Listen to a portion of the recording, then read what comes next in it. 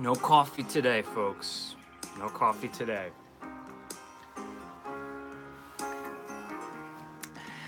I'm gonna wait as we all start to trickle in. H- hello. I-, I missed your name, but thank you for joining. How are we all doing today? Welcome to Smell It Sunday. And I have a, a different approach to describe the show today. Actually, I don't. This is a live show where we we talk about my main channel, The Candle Enthusiast, whether that be candle content, whether that be about aromatic adventures, about places, about things that we like to discuss, visits if it's a place, purchase if it's a thing. It's where we can get together and actually uh, talk, communicate, strengthen our communication, as, as I always like to say. And it gives me a chance to kind of fill in uh, with you guys what's been going on with my with my day-to-day life so that you are on up and up. Mark Smith. Mark Smith hasn't joined in in a long time. Happy to see you, Mark. And Carol, I think, was in the room as well. First thing is first, Angie Clementine. Angie Clementine. Always nice to see that, that smiling face on the screen. Uh, let me pull up you guys. You know that's always the first step. And to turn off the music. The music never really seems to fit the show. I haven't found a jingle, a song that seems to fit a show called Smell It Sunday. Chris, how we doing today? So if I Oh, that thumbnail. The thumbnails get worse and worse every day. Every day. It is one of those Sundays where it, I mean, you probably can't tell, but depending on where you are, you probably know what I'm talking about. It's it's it's it's cold. It's warm because of the humidity in the Northeast. Um, it's rainy. It's gloomy. It's not a bad thing. It's actually very nice, but it has just been a very slow moving day. Uh, maybe it's because I'm a little bit more relaxed, but we'll talk about that in just a few moments. Because if any of you are wondering, uh, I am through the very first part of my challenge, of my 10 week, that's right, 10 week, uh, what I'm calling living enthusiastically. It's a 10 week challenge where I'm trying to get myself in a healthier place. I'm not talking about diet, just dieting and improving my diet. I'm talking about doing things that I've been neglecting that I know I should be doing, taking on responsibilities, organizing my life, getting my head screwed on straight, but yes, also making sure that I'm paying attention to my physical vessel, right? The, the body, because work uh, for a lot of us takes precedence sometimes, takes priority. Sometimes we don't have a choice. You know, we have to keep pushing the envelope every day uh, to make sure that by the end of the week, you know, we, we cross that finish line or at least get as close to it as possible. But uh, I've finally made the choice to say, whoa, whoa, wait a minute. I have to start making some permanent changes, not temporary changes, but some permanent changes. So I decided and I announced uh, a couple weeks ago, I posted the first episode of Living Enthusiastically on my main channel. Check it out if you haven't seen it. Um, it's really an introduction to what I'm going to do. I, I said that uh, I'm going to, like I said, live a, live a healthier lifestyle, but every week I'm going to take on one more hurdle, one more obstacle, increasing the difficulties of my challenge. And every week for the next 10 weeks, gonna again push that envelope and see by the end of the 10 weeks, take kind of a retrospective look and see what what I accomplished, how I'm feeling. But the very first step was my green juice fast. So let me just fill you in for any of you, uh, any of you who don't know what this is, because it sounds dangerous and it could be quite dangerous. And at times I felt like it was very dangerous. Um, Uh, a green juice fast is like any other fast, uh, like a water fast. Let's say, for example, some people do lemon juice. Uh, some people just don't eat. It's uh, the theory is it reboots your body. It uh, when you when you fast, uh, or excuse me, when you detox, you're we know what that is, right? We're trying to get all of the poisons, the bad things we put in our bodies, the coffees, the fast foods, all of the things that maybe we shouldn't be putting into our body, or things that too too many things that we're putting into our body without moderation. We're trying to release that, get that out of our system. Uh, but we easily, it's just human nature, we become addicted to so many things. For a good example, I am a passionate coffee drinker. I love coffee. I've always loved coffee, and uh, there's been times in my life where I've I've consumed far too much coffee. I'll even admit that it was not. It was actually becoming a problem, but it just it's a it's become a part of my personality. It's been uh, the fuel of my enthusiasm. Not really. I think people. I think that's more of an assumption people have of me that the coffee is why I'm always so excited and wound up. Um, but the green juice fast is nearly 100% greens. Greens are not vegetables, right? Greens like kale, spinach, leafy greens, dandelion greens, wheatgrass, right? We talk about a lot of these. I talk about these these aromatics in the show all the time. Uh, getting as much greens into your system and vegetables, uh, excluding a few veg, ve- veggies like potatoes and things like that. Um, and uh, so, what I wanted to do was a seven week juicing, juice fast detox, where not a morsel of food would go into my body. And all I would be doing is drinking green juice, not smoothies. So we're stripping away everything, all of the liquids, all of the nutrients, all of the micronutrients from the actual fiber of the plant based materials, and just drinking that. Santa is not with us today. I know, Santa has been on hiatus. He has been you know he's he gets a lot of his homework done i suppose for the holiday season around this time of year. And i'm getting a notification that i'm live. It's funny how i get a notification that i'm going live. So i'll swipe that away. So before i continue with how my my first week went let me address everybody. We have a good good good uh, little chat room today. How's we have a, a good group of people. We always have a good group of people uh, Mark, Nancy. Am I forgetting anybody? Nicole is here. Hobble Kitty. And blend it like Brian. Gagan. I don't know. I don't know how else to pronounce that. And I see Laura. I see Laura's here. Did anybody? Has anyone ever pronounced your name Lara? This is gonna be Horror Queen. I'm, I'm speaking of. L- Laura is with us, and Laura, I have I have goodies for you. They are they're they're coming. Don't think that I forgot. I would never forget. Um, this week has just been a little bit of a a little bit of a, a, a whirlwind. Uh, if we don't know Queen or Lara, um, she uh, won a little, I guess, uh, contest um, for um, on our uh, Facebook fan group and uh, our lovely moderator Rachel has sent her, uh, I believe, a wax melt, Yankee Candle wax melt or melt cup, excuse me. And uh, I'm gonna, I'm gonna throw a little care package, and because I'm gonna be, I, I, gotta be doing more of that now that the summer's coming around. Uh, I gotta be start. I gotta, we gotta start doing more giveaways. I remember how fun it was last year, and it was kind of around this time. It's getting close where we did the moonbeams on pumpkin. Um, giveaway. And that was so much fun. So much fun.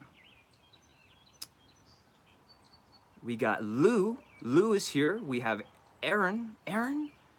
Aaron. It's Aaron. I know it's Aaron. And Amanda is here. Uh, Marianne. Marianne's here. See, I'm getting all your names straight. And if I forgot anybody, Rebecca's here too. Uh, if I'm forgetting anybody, uh, I apologize. But so today, today's gonna be. I have some show and tell. I have some. As you guys might remember, I had a really wicked uh, Yankee Candle like outlet session where I walked away with quite literally, I think six, seven bags of Yankee Candle products, and I'm realizing that I haven't really showed you a lot. Plus, I have a lot of stuff that I had been acquiring um, through other means, some on eBay, some on Craigslist, things like that. And uh, so we have plenty of Yankee Candle stuff to talk about, but I did want to catch up on the living enthusiastically first. So please, I'm going to try to throw out Anne Marie. Anne Marie. I called her Marianne. Damn. So close. Dang. Dang, dang, dang. I said dang. Um, um, but please try to throw as many questions. I want to. I, I know I, I don't spend a lot of these a lot of the time on these Sundays addressing your questions, and today's a perfect day for it. Easy, relaxed, laid back. If you want to talk about Yankee Candle, you want to talk about films, If you have any questions about me personally, I'm an open book. I'm trying to fix this hair. Haircut is necessary. It's it's a month past due, but I believe it or not still haven't done it. And anyone who's out there uh, Mark, goes, any more eBay coming? Mark, I promised you there's eBay stuff, and there is eBay stuff. Um, uh, Marshmallow Zap's got a good question too. Um, but um, I don't know why I'm, po- I'm not postponing it. I just I want to. You know, when you do eBay, it's it's a lot easier to do a bunch of stuff at once, and a lot of people have reached out to me and said that you know money is kind of tight right now, and you know tax season wasn't all that f- far away. So I feel like you know what? Let's give everyone a chance to breathe. I got some good stuff to sell. I want to give everyone an equal opportunity to get their hands on new stuff, old stuff, rare stuff, weird stuff, things that are completely candle related, things that are related to the channel um, uh, so eBay will be coming soon, but the best way, the, the best thing to do is to go to um, my eBay account. It's going to be the link is going to be found in all my videos, and make sure you follow. So this way you'll get a little push notification every time I post something. Uh, now let me go back a little bit. Marshmallow Zap, what do you think of Kringle uh, Kringle Candle's unicorn poop? You've heard me correct people in case you thought it was a joke or in case you didn't see Mike Kittredge's the third uh, post on Instagram uh, and a mass emailing. Uh, they're they are releasing a candle in kind of like a I don't want to say baby blue. It's more of like a neon baby blue, if that's a thing called unicorn poop. Really weird, and and not a Kringle candle. It's going to be a part of their uh, country candle line or subsidiary. And I, uh, to be honest, I thought it was a joke at first. Uh, they, but they, they're actually, uh, they said it started as a joke, but they're actually doing pre-orders for it. The pre-orders ended Friday night, uh, but I'm sure there's going to be tons available I don't know. I think it's fun. I think it's always good to throw in a monkey wrench every now and then. Throw in something that's going to break up the normal flow. And if it doesn't work, you repair it. But if it breaks and something interesting happens from it, then you can evolve and adapt to it. You know, maybe um, this is a great way for Kringle Candle to take a sidestep and say, you know what, we are a luxury esque. We are we portray ourselves at least as a luxury. I, I would consider Kringle as a, a, luxury candles at consumer prices. Uh, we are a luxury company of quality, high quality, and class, but it doesn't mean we can't have fun and laugh at the same time. So I am 100% on board with Kringle's decision to uh, purchase this candle. I put in my pre-order. Uh, we'll see what it's all about. I'm expecting that it's going to be kind of riding on the coattails of the idea of like like the Starbucks unicorn beverage and stuff like that, where it's gonna be sweet, it's gonna be tart, it's gonna be like candy, it's gonna be just a, a big bubblegum candy shop explosion, which is not a bad thing at all. So, um, and I've never burned a country candle before. I don't own a country candle. Well, I own I own the, the daylights, the samples, but I don't own an actual house warmer or apothecary jar. So I'm excited. If uh, if you're, you think I'm lying, yes, that unicorn poop was real. I thought it was a joke too at first, Nancy. Uh, but um, I'm not sure when they'll be shipping out. But the, pr- the pre-sale ended Friday night, and I don't know when they're gonna be on sale for um, on the website, on the main website, or I'm sure they ha- maybe even have them at Kringle Candle. Who was just at Kringle Candle? I think it was Rachel. I wonder if Rachel saw it there on display. The price was very affordable too, nineteen dollars.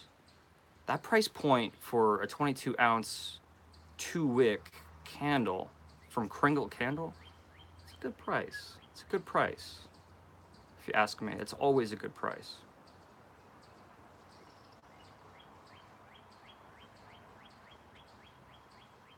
What are the notes? Says Angie Clementine. I don't think they released notes. I don't think. Yeah, I don't. I don't. I mean, I could be wrong, but they did not release any notes on it. But again, I do think it's going to be like a Starburst, Skittles, smell the rainbow, taste the rainbow, not smell the rainbow, but I say smell the rainbow. Kind of this uh, candy esque fruit driven fragrance. I could be wrong. You know, it could smell like unicorn poop, and the joke would be on me. There are notes, says Mark Smith. Mark, uh, or if anybody wants to grab those notes and post them, just copy and paste them into the comment section. That'd be, we'd all appreciate that. I'm not saying, Mark, you have to do that. but if anyone wants to go and grab those notes and bring them to us, uh, so,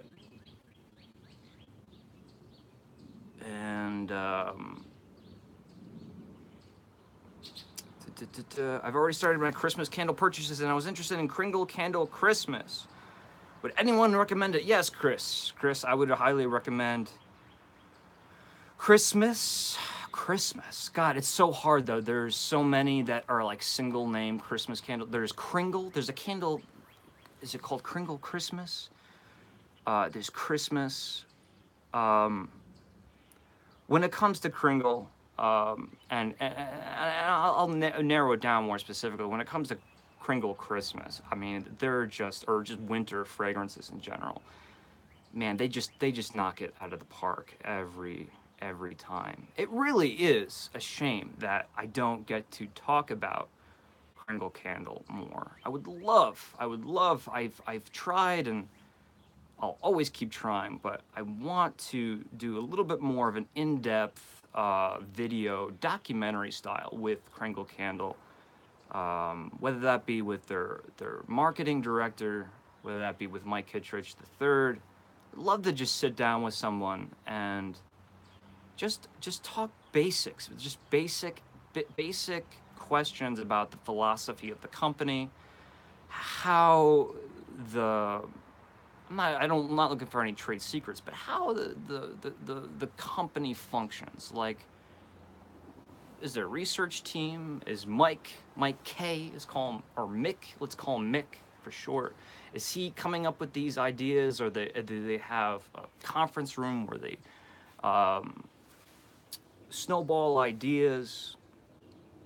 How long does it take for them to kind of bring a conception, an idea to life? How long do they give it before they pull the plug if they decide to retire it? Okay, so Nicole, glad, uh, very, very great, uh, graciously uh, got us the note. So Unicorn Poop by Country Candle, subsidiary of uh, Kringle Candle. Top notes of Sherbert.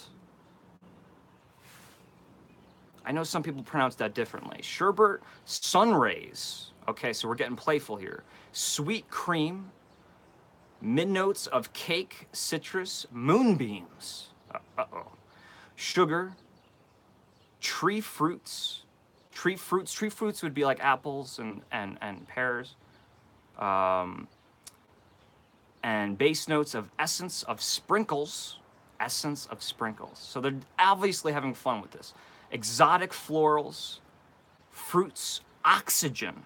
Oxygen. Oxygen is a fragrant is, is a fragrance fragrance note. Oxygen. That that's that that is it's funny. It's it's funny. And I like it.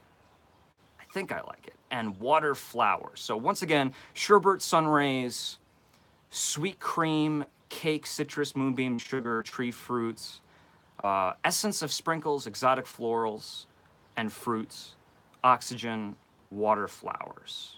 Wow. Okay, so I'm guessing they were trying to make something and they stumbled upon an interesting scent. And instead of throwing it away, they thought, hey, you know, it'd be fun to kind of release this not as one of our um, release this one as a more playful one that steps out of character for a bit. But they're obviously having fun with those fragrance notes. Um, yeah so mermaid so I, this is where did angie mention yeah, I thought we were moving on to mermaids now. Yes, mermaids seem to be very popular. The mermaids have always been popular for me. I love mermaids. Uh, and Hobble Kitty says, yes, mermaids are swiftly becoming the new hotness, but those darn unicorns just keep holding on. Yeah, yeah. Um, Mermaid Lagoon was a candle that Rebecca, I know she's probably listening in if she's not in the chat room. Uh, she she brought it to my attention. I don't keep on top of the news for like Bath and Body Works and White Barn products. Not that I have a problem. I just like, you know, that's not something. It's not a part of my daily routine. Yankee Candle, you know, uh, some point during the day I do my research just to make sure that nothing is popped or leaked uh, on the internet somewhere and if there's information or if someone is reaching out to me with some information i kind of collect it and gather but i don't do the same thing with bath and body works and they had a candle that was supposed to be a test candle. Mermaid Lagoon, you probably have heard of it, some of you. And I called, I can't give a number, but I, I literally called every single one of of the Bath and Body Works and a huge radius of my like home base. So we're talking Connecticut, Massachusetts, New York, Pennsylvania, New Jersey, Delaware, um, uh, even I even ventured uh, over into Ohio, and but this was a while ago, and nobody had it. So if anyone has that, please share that on the Facebook group. If anyone has found it or knows more information about it, and uh, share your your impressions. Don't be afraid to share your sensory evaluation and use your own language. Some people say, "Well, I don't know how to verbalize what I smell." Use your own language. It's okay. We're all great communicators.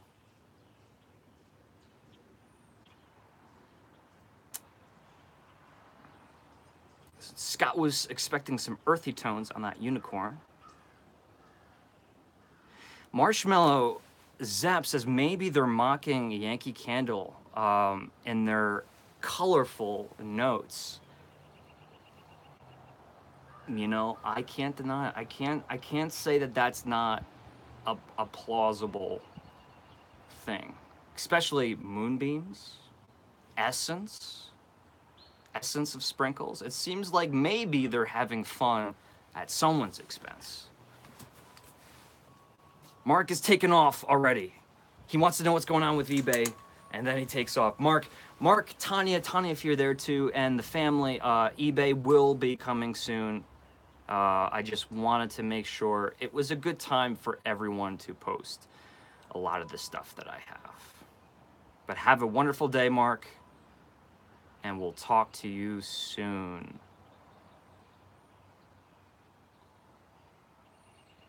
Mermaid, Mermaid Urea might be the next Kringle candle, says Angie Clementine. Um, and Rebecca says Mermaid Lagoon will be out on the floor after Mother's Day. Awesome. I like that. Mermaid Lagoon. That's a good name.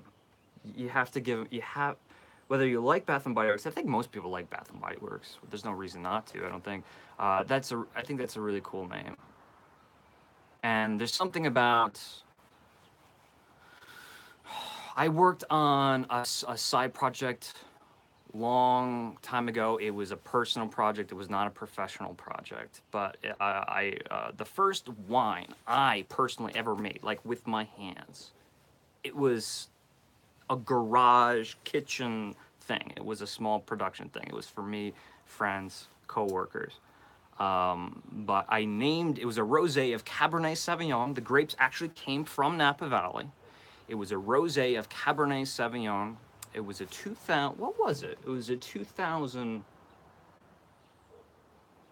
2000 it had to be a 2012 it was a 2012 and um, the name i named the wine lady in the lake so mermaid lagoon lady in the lake kind of similar and it was good it was good it was slightly effervescent because I had failed to completely stop the fermentation. So the bottles were starting to pressurize. So what that meant was we we meaning my friends, my roommates, and I had to drink all of this rosé over a very short period of time. It was a fun couple days.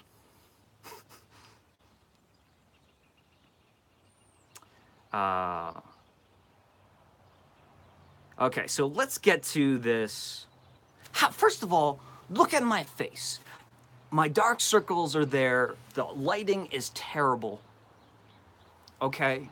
I don't know about you, but I think my face looks like healthier in some way. Whether that be my skin just being like tighter. And the reason why I'm talking about this is because I did complete the seven day juice fast. So here, th- this is how it broke down. Now, if anyone doesn't, I'm kind of spoiling what the video, the video that's coming out is going to illustrate. Um, and I'm sorry that it's kind of this video is being postponed. It was they're supposed to come out weekly, but you have to understand that I was it was a very it was not an easy com- uh, thing to do to do this seven day thing, film it, and then actually edit it. There's a lot of stuff. I want to make this a like a really really good one. Hopefully, not that I, I don't I didn't like the first one, but I want this to pull in a lot of non-candle people.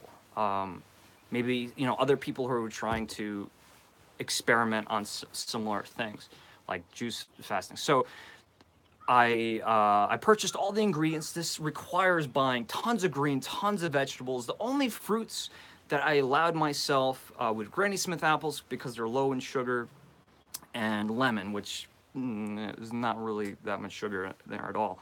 So I was drinking on average four quarts of this juice a day, sipping on it throughout the day. Um, first day, fine. Second day, very bad. It was very bad. And uh, I have to say, most of the day, I just could not really. I was just trying to keep myself calm.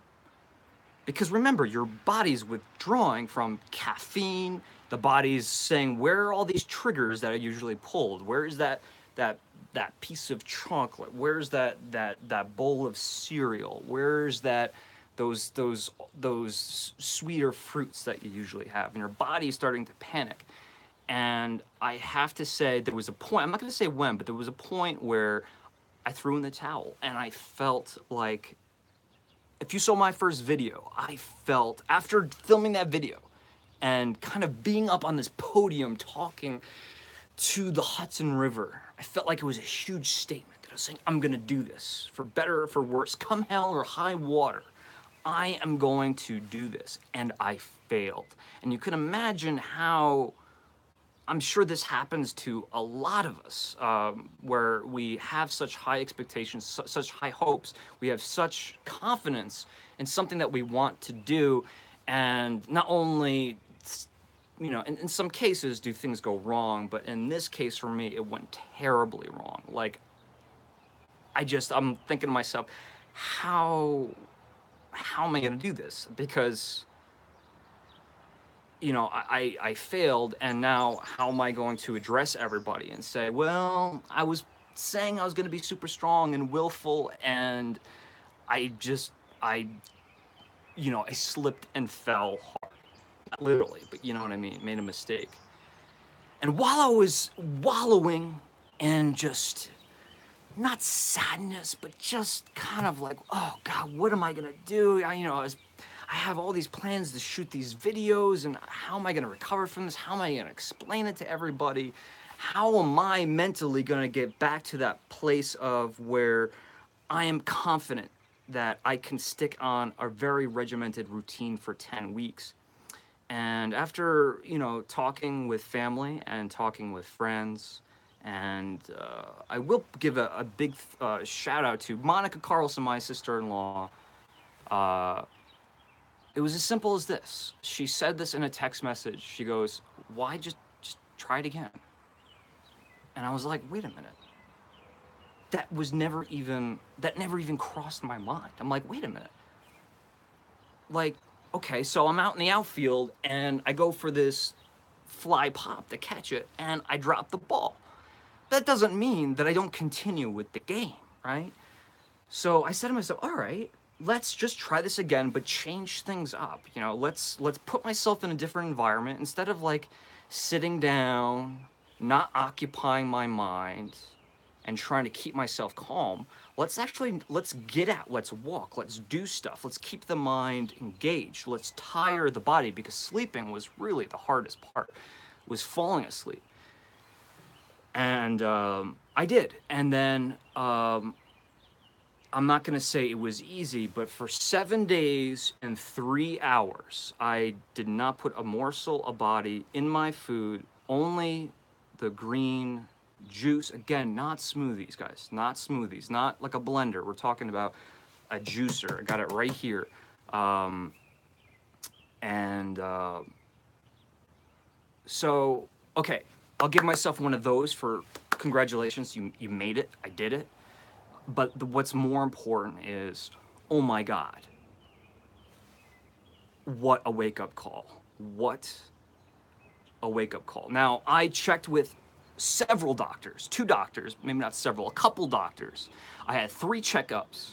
I had my blood work taken to make sure I was prepared for all of this. Because if I was going to do this and, and then put it on YouTube, I wanted to make sure that I was doing it in a healthy fashion so that people understand that I'm not just putting my body in jeopardy. My main concern was if, you know, like I, I, we, I think we all know that I have like blood sugar issues, and I have a, coffee addiction.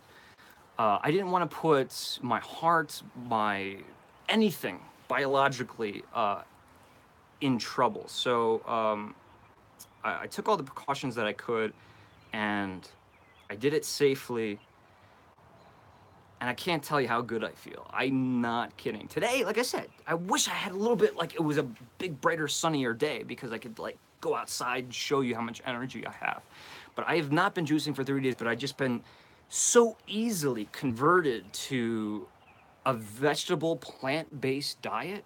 Um, I felt like I could have done the juicing longer. In fact, I I I, uh, I considered whether to take those seven days and skip like going to 10 days and like pushing it to 20 but i really wanted to move forward and not just stick on green juice i wanted to tackle other obstacles plus when you're putting just juice in your body you have okay you have energy you're you feel good but like if i were to go like sprint for 10 like 10 feet 10 foot sprint i would have collapsed because that's how you know low calorie it uh, it was. So, bottom line was first several days, 72 hours, let's put it that way, are horrible. Are horrible. I mean, I wouldn't want uh, those feelings on uh, my worst enemies. I really don't have any enemies, but I wouldn't I wouldn't wish that upon anybody. Uh, but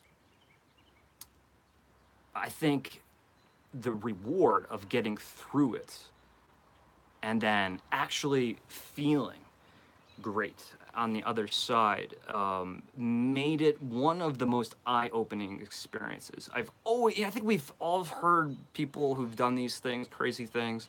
Uh, you know, the documentary "Fat, Sick, and Nearly Dead," "Fat, Sick, and Nearly Dead," and its sequel.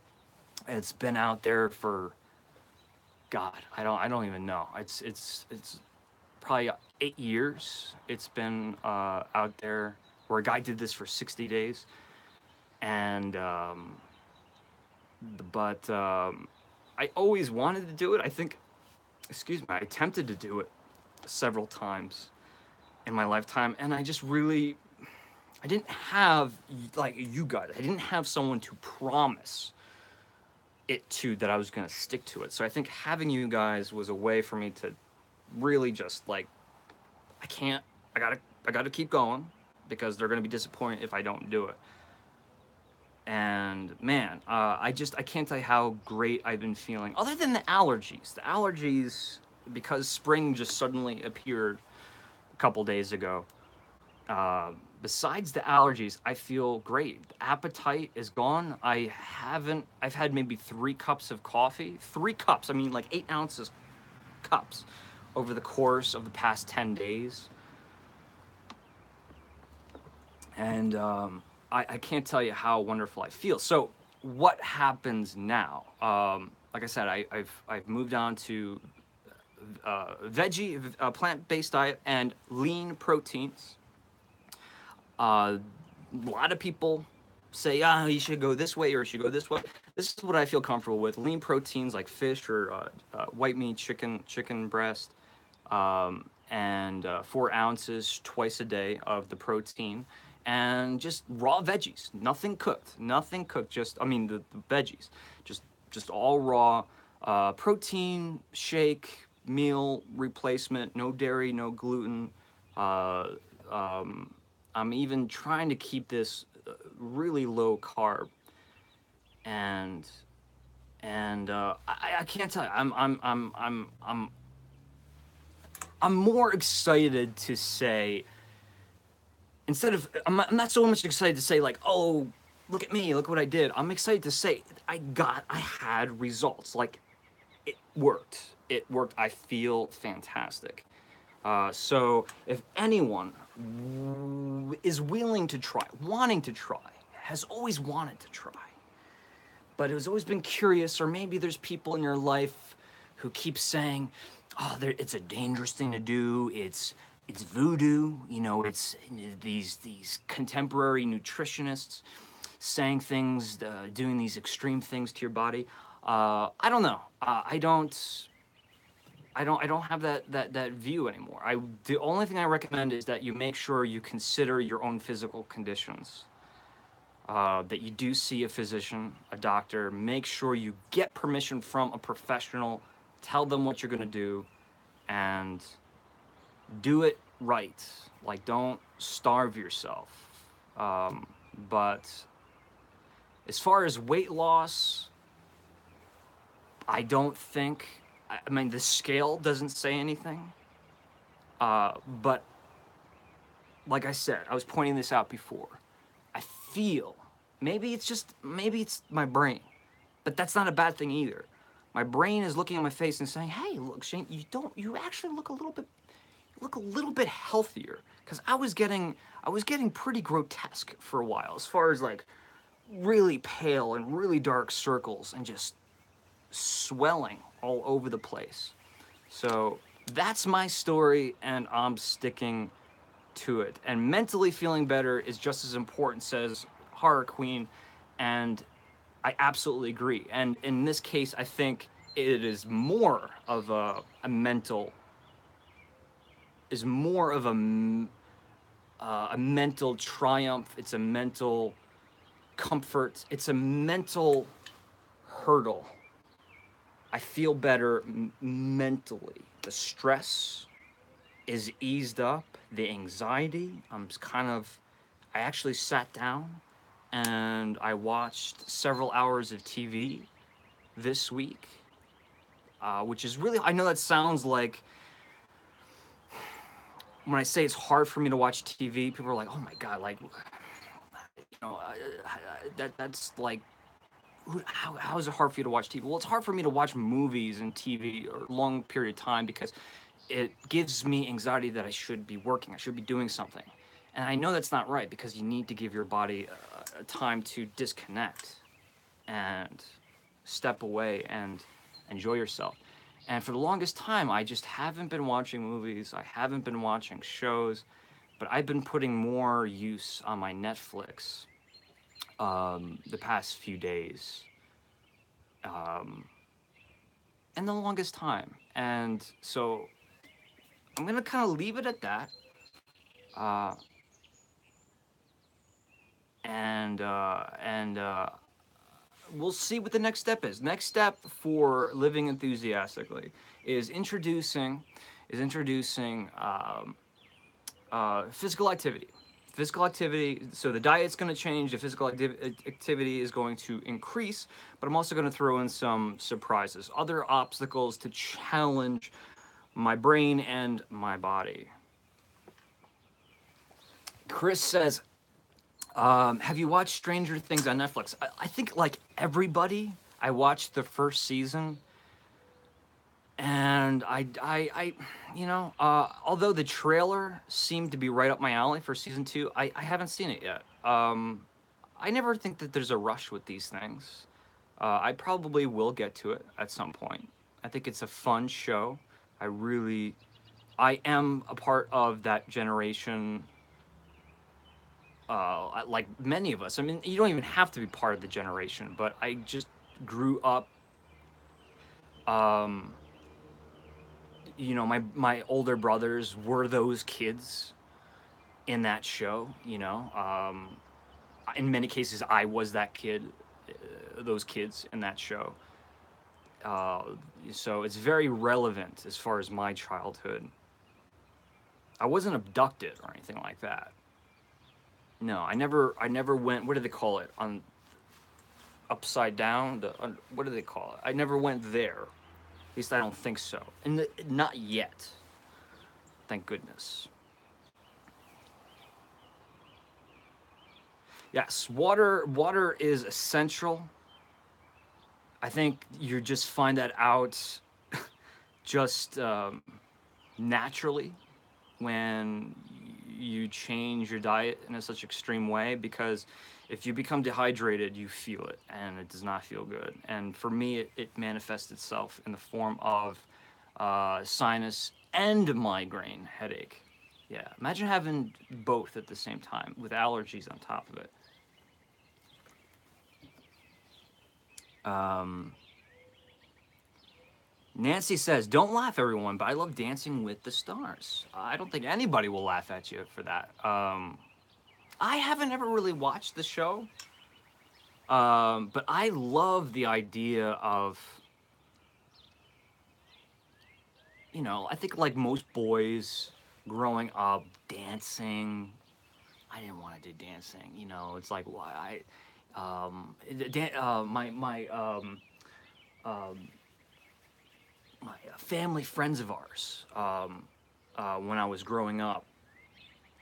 Um, they used to be, uh, how do I say? It was a big family of the the dancing arts, and it wasn't a big thing to me. But something happened, like uh, in my twenties, late twenties and thirties, where I just became fascinated with dancing. I wanted to become Gene Kelly. I, like I, every time I see somebody tap dancing, if you see the movie the artist. Is the artist?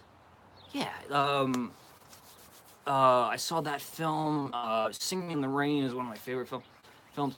Um and uh ballet i love the the classic russian ballets Uh, and just so dancing really has become this thing where it's like I don't I think I want to dance myself, but I love I love watching the art and I love watching the people who who partake in the art form and the process behind it.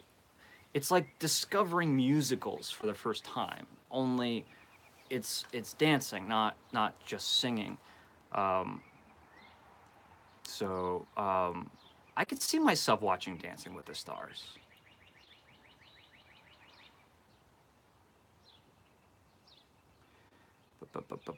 Um,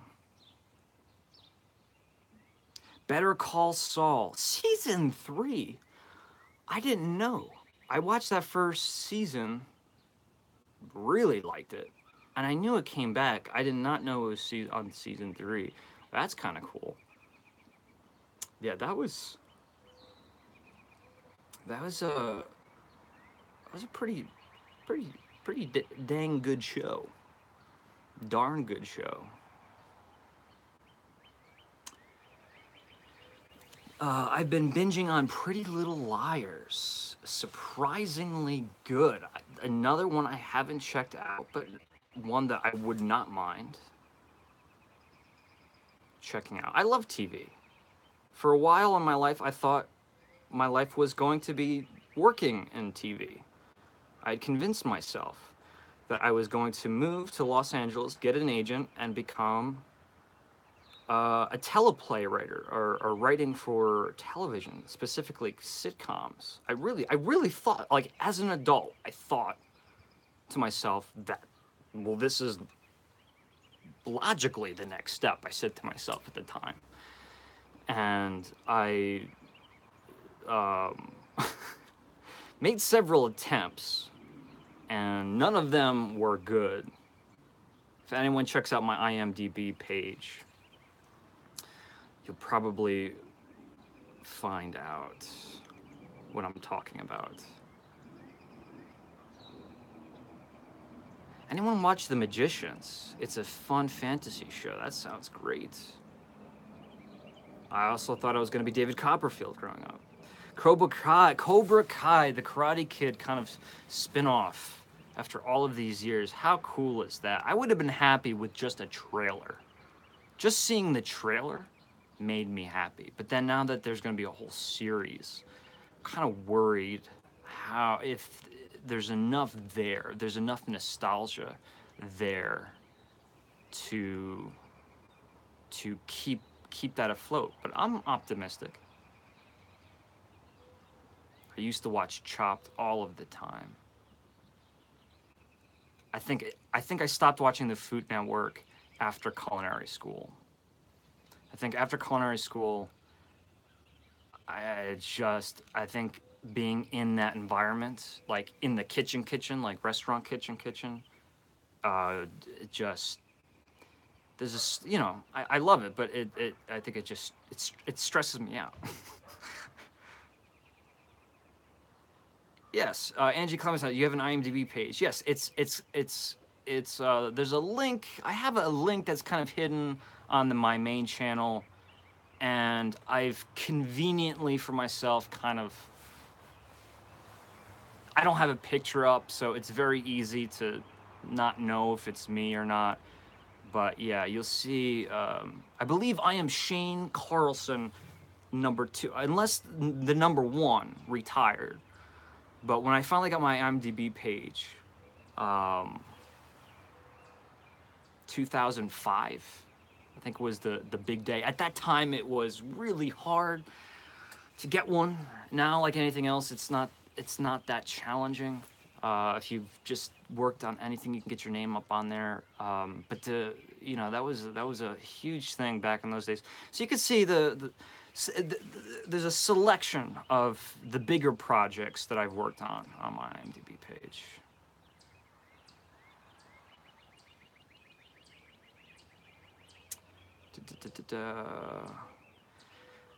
First two episodes are free. Yeah, the Cobra Kai. If we're talking about that, I saw that uh, on YouTube Red. They're offering the first, at le- at least the first one I saw that was for free. How did I get into the culinary arts? My father was a, a Culinary Institute of America uh, professor. So it's always been something I've been conscious of. But it was my just natural um, I think the maker. I think we know now that I talked about this a couple times. I like to make things. That part of me, that that that part of my brain, uh, also translates in the kitchen. And so when I really fell in love and became very passionate about the art of wine and winemaking and talking about wine, uh, discussing wine, sharing wine, and the history of the beverage, when that really started to sink in, I knew that it was something I wanted to do. I didn't want to ignore it. So that was my that was my clever clever excuse for escaping Los Angeles. Um, um, nothing against Los Angeles, but uh, the movie industry and the film industry was just not something I could do full time and be a healthy person and be fulfilled. So I I ventured north up into well first into Hyde Park. I was at Hyde Park, the Culinary Institute of America for about half a year and then I moved to Napa Valley and we all know that. And Napa Valley has a smaller campus of the Culinary Institute of America there and that's where 90% of the wine students are located and I was one of those wine students. First class of the first ever offered uh, wine degree at the Culinary, uh, Culinary Institute of America, CIA. Yes, the CIA.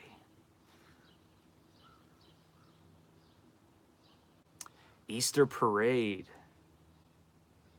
Nice one, Marshmallow.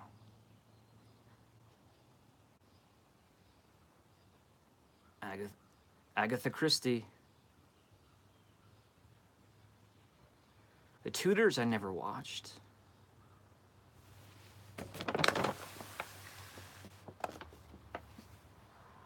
Columbo. Columbo like research. Yes, I watched Columbo. I have not seen all of them. You know, you really do have to like thank we really have to be grateful for things like Netflix these days. Like when I was growing up, I Love Lucy was in syndication. I'll use I Love Lucy for example. It was in syndication. Honeymooners, syndication. Three Stooges. By the time I was an older kid, it wasn't in syndication. Uh, uh, All in the Family. Um, uh, the Dick Van Dyke Show, uh, all of these classic sitcoms. The only time you could catch them was if you woke up at like five o'clock in the morning on a Saturday and recorded them, which I did, but they were heavily edited. And when you have, if you have an OCD child, which I was, I can't have an edited version of the real thing. So what we did was my family purchased, remember like Columbia House video or BMG music collections where you'd buy like buy so many CDs and they send you so many for free. Well, Columbia House released a lot of the classic sitcoms. I use I Love Lucy for example. You'd get 3 episodes per VHS cassette. 3 episodes if we go turn on the TV right now, we can watch a marathon of like nine episodes, right? Uh, this was before the days of Nick at Nite, and um, and th- each VHS tape would cost 19.99 back in those days in the 80s. 19.99, and my mother I mean, I have to give her credit. I really do. She bought every single episode of The Honeymooners, every single episode of I Love Lucy, three episodes at a time at a price tag of 19.99 back in those days. Uh, so when I say that I grew up, my brothers and myself and my family being television people, this is what I mean. Um, that we. Uh, you know, like I had seen every uh, I Love Lucy episode um, all 182 episodes, I believe 182 episodes, plus the seven uh, comedy hours. Can't forget about those. By the time I was like six years old.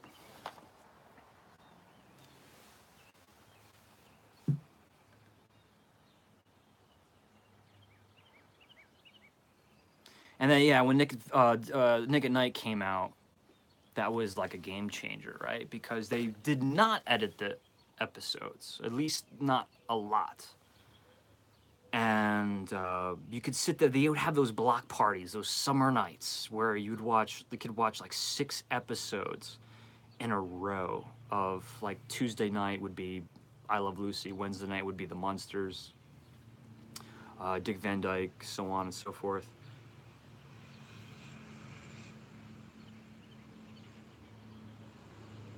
Yeah, so that Eric's saying uh, my friend bought every episode of the cartoon Star Blazers for $800 in VHS when he was in high school. Yeah, so if you think about three episodes, a, total of 182 episodes of I Love Lucy, three episodes each at 19.99. You can do the math in your head, but that was not a small price tag. Uh, uh, the Little Rascals, Nicole, yeah, that was another one. I love the Little Rascals. Um, and um, not as much as the Three Stooges. Uh, but I, I, I still think some of those early, th- those Little Rascal short subjects, like Jackie Cooper, those are hyst- hysterical. They're, I mean, I don't know how they found such fantastically talented children in those days. Were children just funnier in those days? or was it really thanks to the producers and the directors and the acting coaches? I don't know. Happy Days was a big part of my childhood as well. Got to go now, uh, but have fun, everyone. Bye, Shane. Chris, have a great uh, day, a wonderful day. Thank you for joining us. All right, so let, let's change gears. You guys keep going. But I do have a bag of Yankee Candle stuff. So some of you guys are itching to see what's in this bag. Uh, I'm to show you what I have. There was uh, some rumors, some rumors, uh, and I don't want to discredit them at all because I am not this. I've never burned this candle before. There's a lot of people were saying that the the upcoming raindrops candle uh, for Yankee Candle for uh, this season was a repackage. Yankee Candle really, in my opinion, doesn't do repackages. They'll do a rehash. They'll take something that's similar, change it. I don't think I've ever can really say, unless like it's like candy corn versus Halloween treats versus trick or treat. Like sometimes the lines get blurred like that, but I don't think I just I've never experienced real, in my opinion, repackages. Again, there's always exceptions like limited editions and stuff like that. But a lot of people were saying Enchanted Garden uh, was uh, the Raindrops was going to be a repackage of this, and this one was just always one that I, you know, I, I think that you know gnomes are cool garden gnomes, but never really got into my hands. I never made the choice to purchase one, and uh, I finally got it, and um, really lovely. This is this is definitely has uh, that a lot of those outdoor smells that I gravitate towards. So I don't understand why I wasn't drawn to this sooner. But I don't think that this is not only do I not think this is a repackage of Raindrops that we're going to be see coming up for the spring preview here in the U.S., already avail- available in the U.K., um, but I don't even think it's all that similar, to be honest with you. Um, there's uh, uh, outside soil again, mossiness, some green vegetation. Uh, but then there's a spice. There's that that kind of peppercorn spice. That's hard to imagine. Think about uh, crisp fall night or autumn nights or autumn night in the UK. It has that that kind of uh, spicy, bright, tickles your nose pepperiness to it. All at the same time with some um, I would say there's a decent amount of fruitiness in there. So I, I do want to take notes on this one, pick it apart, and uh, uh, evaluate it, And I know you guys are probably rolling your eyes at this point. Shane's like, he just said he's going to evaluate another candle. And how long have we been waiting for all of these candles that Shane says he's going to be evaluating? Well, the good news there is, uh, and I've been saying this over the past couple weeks, I'm since I'm doing this new show, Living Enthusiastically. Um, this began, and the whole idea became an idea because I'm restructuring not just my channel, but really my day to day life. My day to day life, restructuring it, reorganizing it, and uh, started with that, but then said, okay, well, now look at the whole week. Now look at the whole month. Now look at the whole season. Now look at the whole year.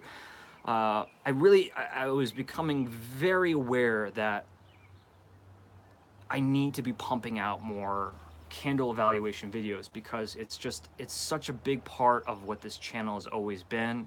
And yet my mind is drifting to newer and bigger things.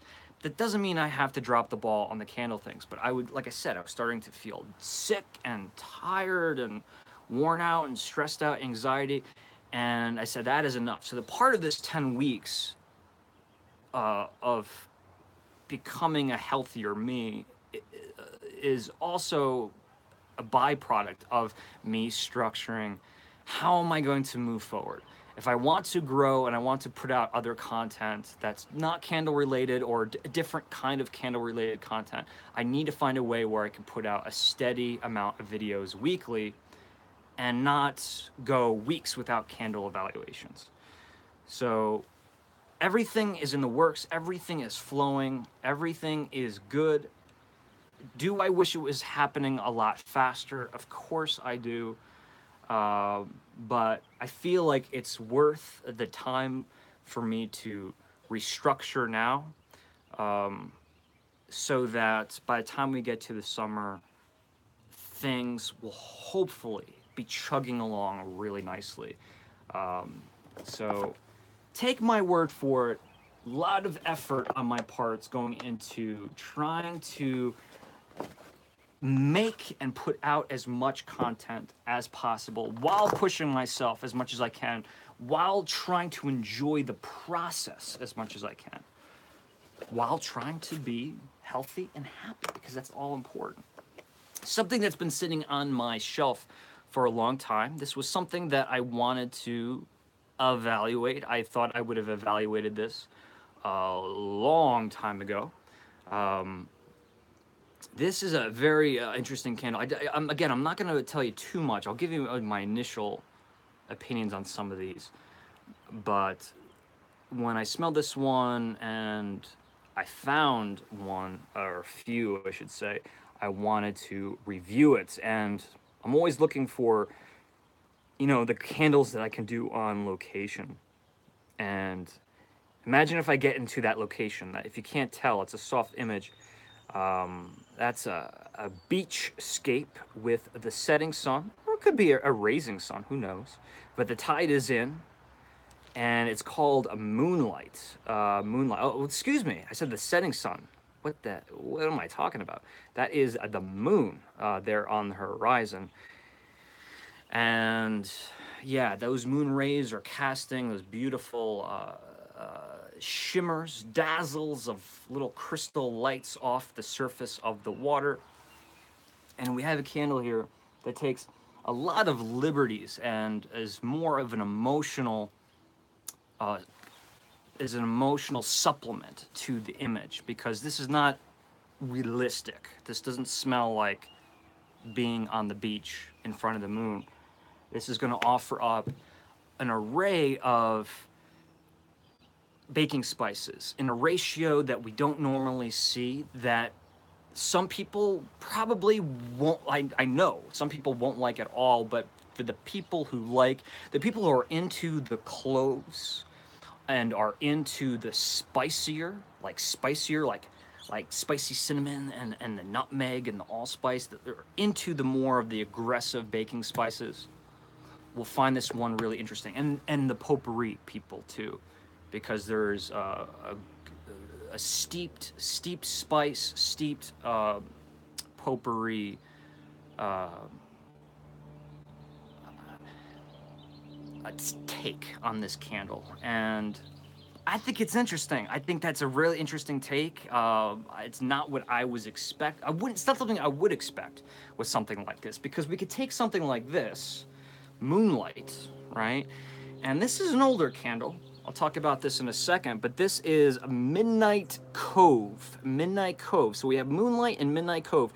And what you can see here is another oceanscape. This is kind of like a harbor at night.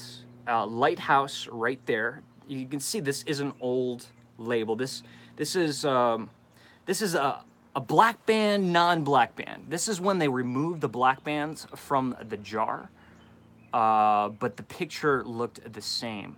So late 2006, 2007 candle here, uh, Midnight Cove. And so if we consider these two pictures, virtually kind of the same, but completely different take. You know, this is much closer, this is much closer profile to Midsummer, uh, I always say, want to say Midsummer Night's Dream, um, but Midsummer Night uh, the classic, the classic moon nighttime, masculine cologne-driven uh, Yankee Candle that's been around for ages. But there, there's something that's happening in these older Yankee Candles that I just I'm not finding on contemporary oceanic coastal candles. And that's going to be the extreme saltiness salty minerality. Oh my God, why? Why? Where have where have where have all the minerals gone? Where have where has all the soil gone?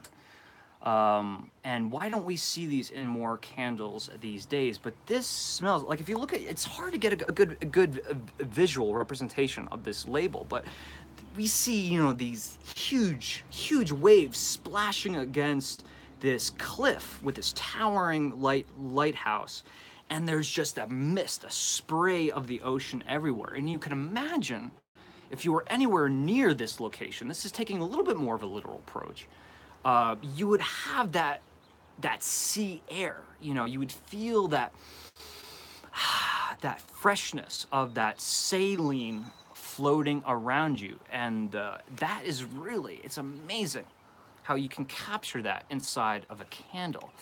Um, and um, so I thought that would be an interesting thing to show you. I'm going to take these on location with me. Uh, I'll save the location a secret for now, uh, but I'm gonna take these on location and we're gonna do these side by side. We have Moonlight and Midnight Cove. These are very, can be very hard to find. See, this is an outlet. Um, so really, if you want to get your hands on this, it's really an outlet thing. Uh, but if anyone's looking for any of these two, let me know. Reach out. You know how to email me, and um, I'll help you find those. But uh, give me a little bit of time because I'm going to re re uh, evaluate them or talk about them, and I'm going to start bringing a little bit more of my own opinions into my evaluations. Um, yes, Nancy says a moonlight evaluation. Absolutely. And that's not the only the only candle that's going to be a part of that. There there's there's another candle and if you watch my other lives you probably know what it is. Um but I'm going to start bringing a little bit more of my own opinions, not opinions, but sharing more of my emotional reactions uh, and see how that flies, see how that works. I always try to, I always say paint the portrait. I always try to paint the portrait for people when I smell candles. Uh, what I see in my head, what I feel. Um, but, you know, um, oh God, I think it was Chris, and Chris left. He asked me kindly if I could review or make a video on Season of Peace. And I noticed, I think, Nan- not Nancy, Nancy was talking about it with Rachel, but I think Rachel found Season of Peace in an outlet recently, and she she just she said something to the effect like, well, I, I, "What does this smell like? I, I, don't, I can't even tell." And then somebody provided the fragrance notes, um, and remember those fragrance notes were top, top, top top secret for years. For years. It's only been about a year and a half since those have been public. And th- that was a candle that I actually did do enough research and find the fragrance notes on that candle a long time ago. So to me, it was like a secret that I had. Now it's a secret everybody has. But if you read those fragrance notes, it's kind of like reading the instructions of a magic trick. And uh, that got me thinking like, do I want to explain the magic trick by sharing the fragrance notes and picking apart the fragrance like what what combination of things I smell or do I want to sit back and actually enjoy the illusion, the magic trick on stage? and again it just it got me thinking. I'm like you know maybe instead of picking apart a candle i could spend a little bit more time talking about what the sum of the ingredients creates emotionally. And um, how you guys if you're interested in that candle can utilize it to supplement times in your life like, like season of peace right I think it's a great candle for the days leading up to Christmas. I think it's a great candle to have um, when um, um, you're spending time uh, like in a log cabin. Um, uh, I love that, you know, renting a cabin or staying in a lodge somewhere. Um, but the idea of just being snowed in, but you're with people that you enjoy and you're having the time of your life uh, that that emotion is far better in my heart and in my mind than just listing the ingredients that are in the candle. Long tangent there. Oh, and Eric says, um, I saw this right here. The boy has no smells. Candle has changed shade. Uh, yeah, guys. So after I concluded last week's live, if you don't know, I, I burned a candle by a company named boysmells.com. And I want to just be perfectly clear. I've heard a lot, a lot of feedback, a lot of folks saying how wonderful uh, this candle company's fragrances are. And I was even told uh, by uh, somebody, and I apologize if maybe that person's even here, uh, that that particular candle that I bought, Coin, which Amanda recommended, not recommended, but she was curious about it, like I was too, because uh, she informed me about that candle.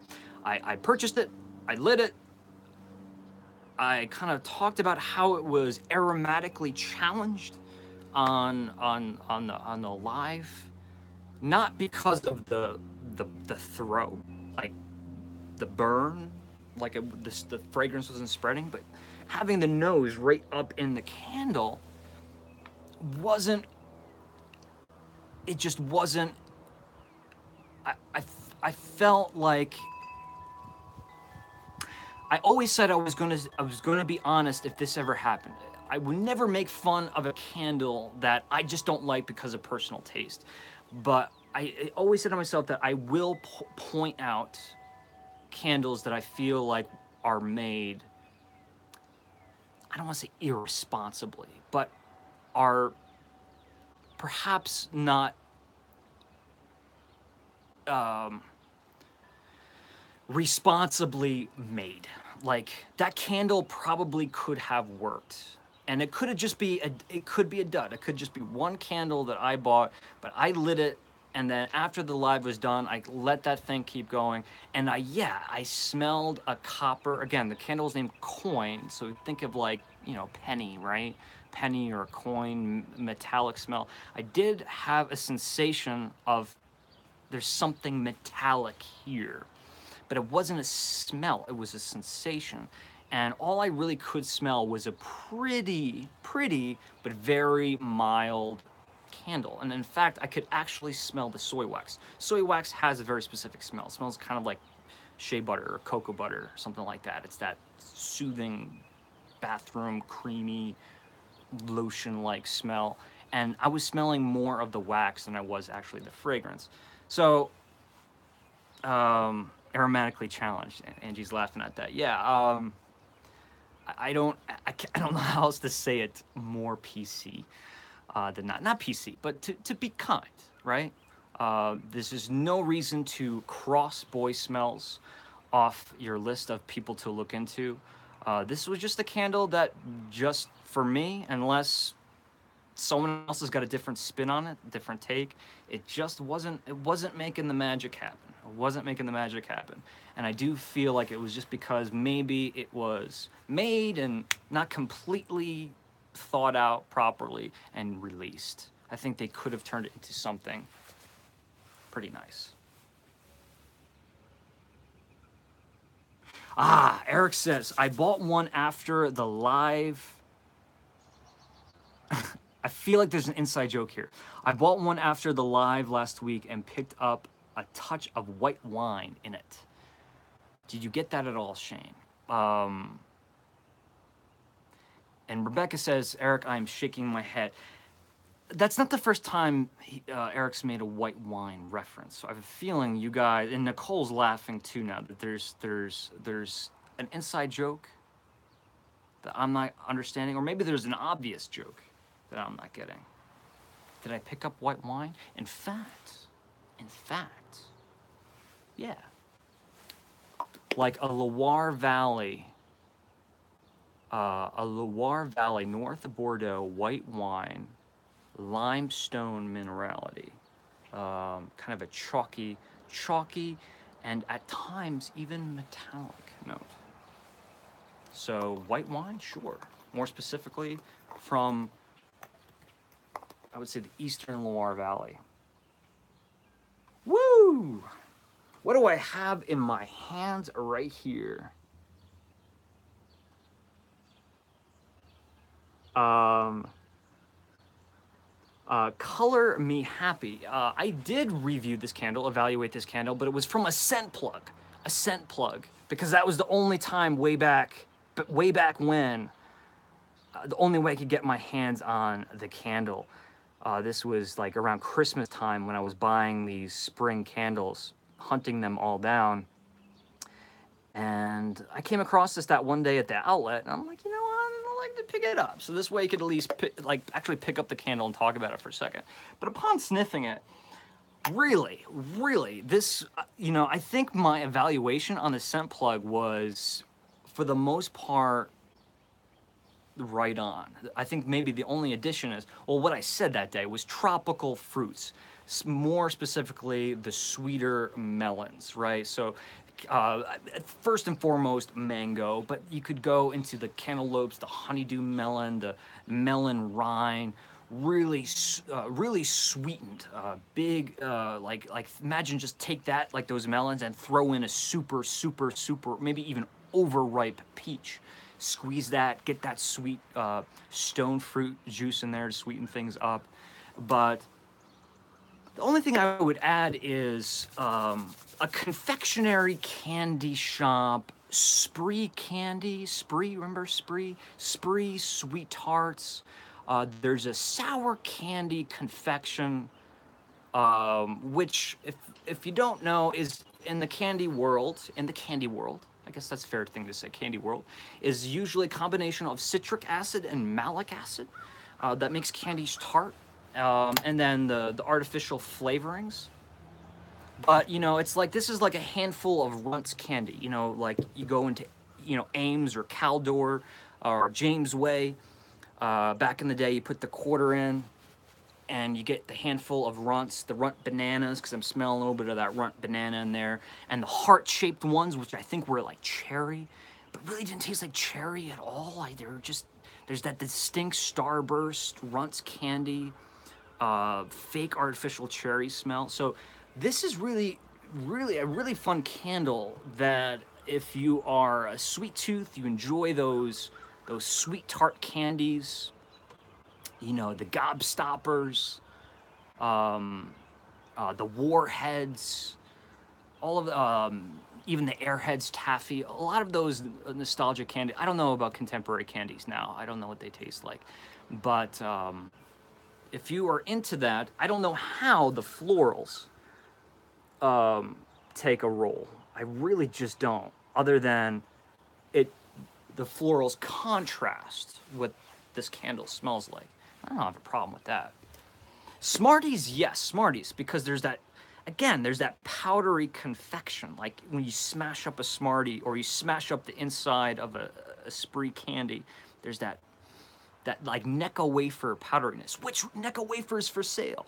Necco wafers for sale. If someone doesn't buy Necco wafer, Necco wafers are going to be gone forever. And I forget how long, but those candies have been around. I think, I think, for close to 100 years. Maybe over, maybe just under. But somebody, if you want to go in and buy Necco wafer, let me know. I got I got a couple dollars saved up. Let's go buy Necco wafer and save it. How could they do away with Necco wafers? And how does a company like um, like M&M Mars Corporation, how do they just not say, okay, we'll we'll take Necco wafer and we'll keep it on the shelves? Like, what do they have to lose? So, uh, interesting candle. Who's burned? Color Me Happy. This was a 2018, 2018 uh, Horror Queen. Laura does not like Necco wafers. I think that's why they're getting rid of it. Who has burned Color Me Happy, and how does it smell? Like, how does it perform? Was it a big fruit punch uh, experience in your living space? Was it a, a vague fruitiness?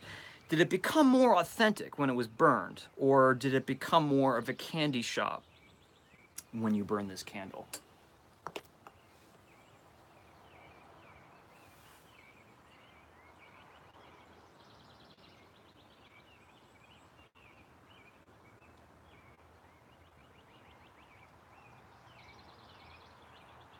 Uh, Eric says, when I worked at Caldor when I was in college, uh, one time I had to clean a huge excretion in the toy aisle after some kid dropped a bomb in that joint.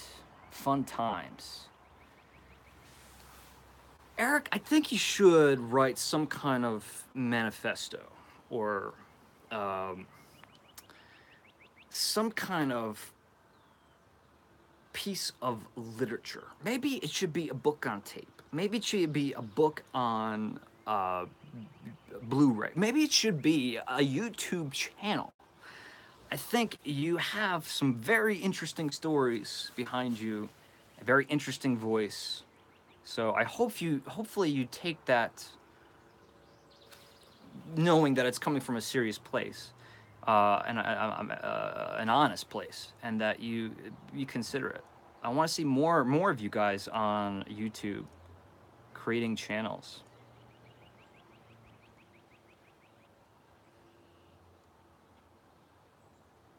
Uh, Eric also said, "I'll uh, burn the color me happy in a melt cup, and I got mostly mango. Yep, mango, mango flesh, like really sweet mango flesh." And um, I remember on the scent plug, I, I was thinking perhaps maybe a little bit of that very you know fragrant, even floral skin. I really don't know how else to uh, uh, say it. The skin has the um, if you get if you eat the fruit too close to the skin or the skin itself, it has massively tannic, bitter skin, but it's got a, a very pungent flavor too. And I don't necessarily smell that, but I do get like a little bit of those, little bit of florals. So to kind of contradict myself, the florals uh, uh, on this picture, I'm getting a little bit of like that green stem, that green stem floral greenhouse thing. Uh, but it's going to be very, very mild because it's dominated by the big fruit. So maybe mango skin. Maybe that's what they're going for. What else do I have in this bag? I have some other. I just, I just went down this morning to my office and I loaded this bag up and I came to shoot the live today. I, I and I, I, these were random, but they're actually starting to make kind of sense. Um, so here's an example. I showed you two. Uh, we can call them aquatic, but let's call them beachscape candles, just to be uh, clear uh, or more specific, beachscape candles, two older ones, two completely different approaches. And right here I have two contemporary uh, fragrances. This was going to be last summer's or spring, yeah, last summer UK collection fragrances. Uh, very small, I know, Um, but so 2017 UK European Sea Air and Coastal Living. And uh, again, two beachscape candles. So let's see if I get that saltiness here. No, see, I think what's replaced the saltiness right off the bat.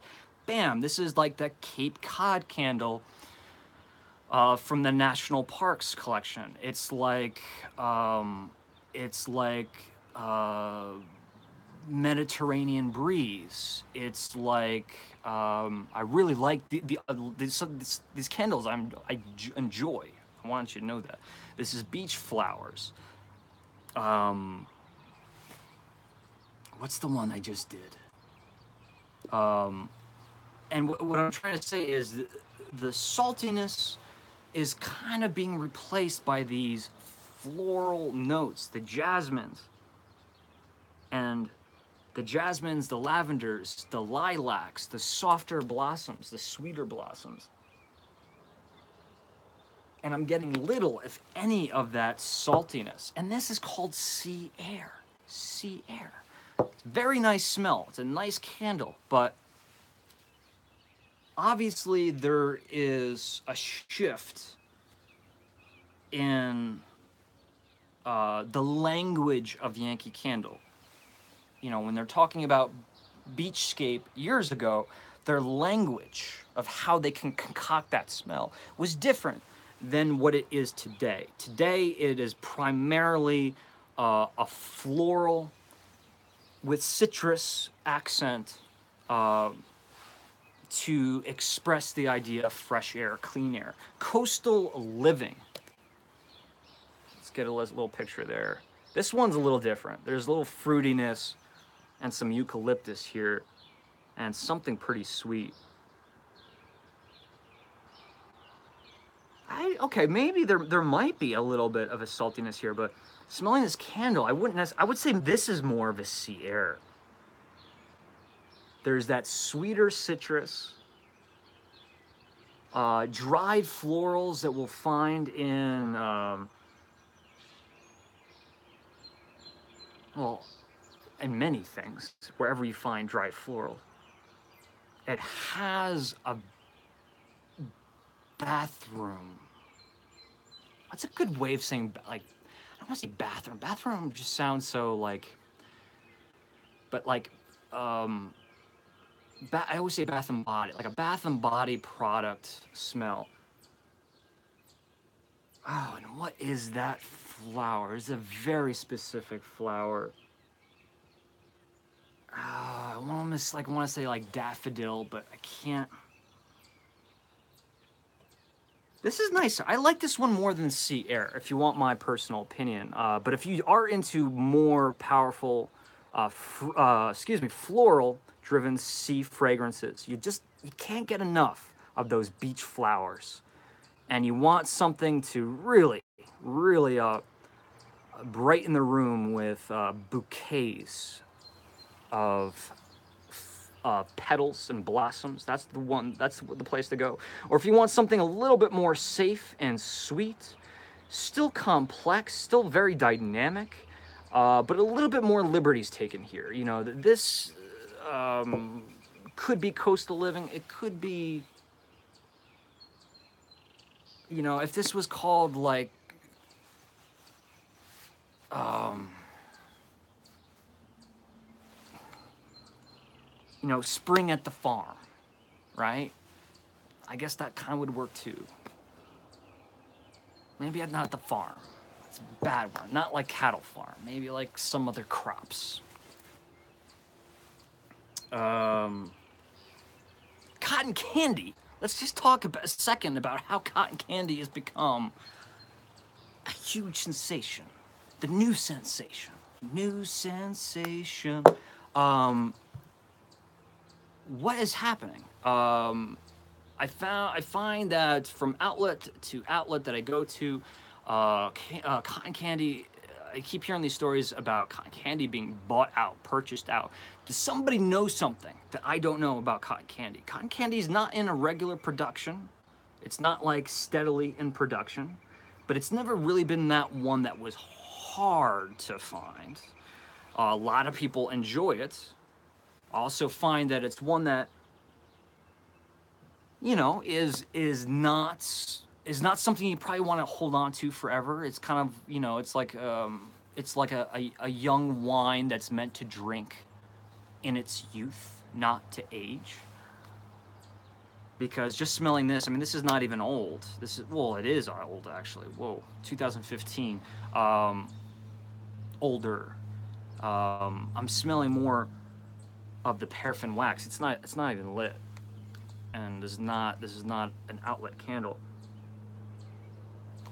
But, um, it does have that distinct cotton candy, sponge sugar, uh, smell, which sponge sugar, I, I mean, that smell is really caramelization. It's it's it's sugar. It's sugar that's being melted and cooled, right? So what you're doing is it's you're you're not getting a dark caramel, but you're still caramelizing the sugar. It's an enzymatic browning of that sugar, which changes the flavor and aromatic profile. And of course, they flavor the cotton candy as well. but I need to I need to address this candle because since it's a, a trending thing, and now that we have summer coming up with you know all of these carnivals and bazaars. In my hometown, we called it the town bazaar. Does anyone's hometown call it a bazaar?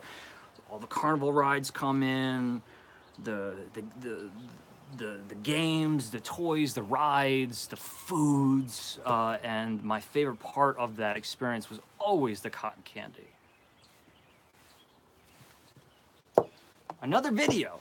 This should this title of this this live should be videos I haven't made that I said I was going to.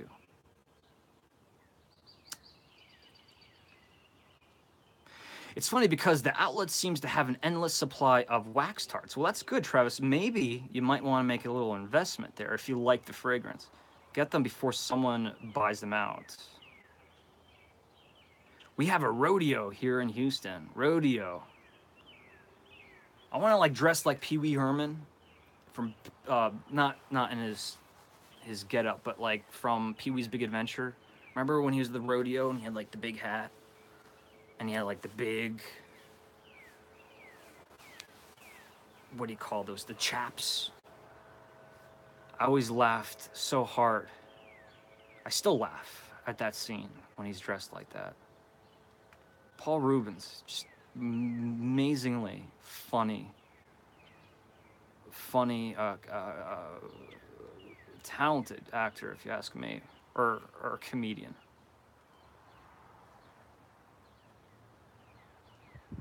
I tried the Dunkin' Donuts cotton candy drink and it was terrible.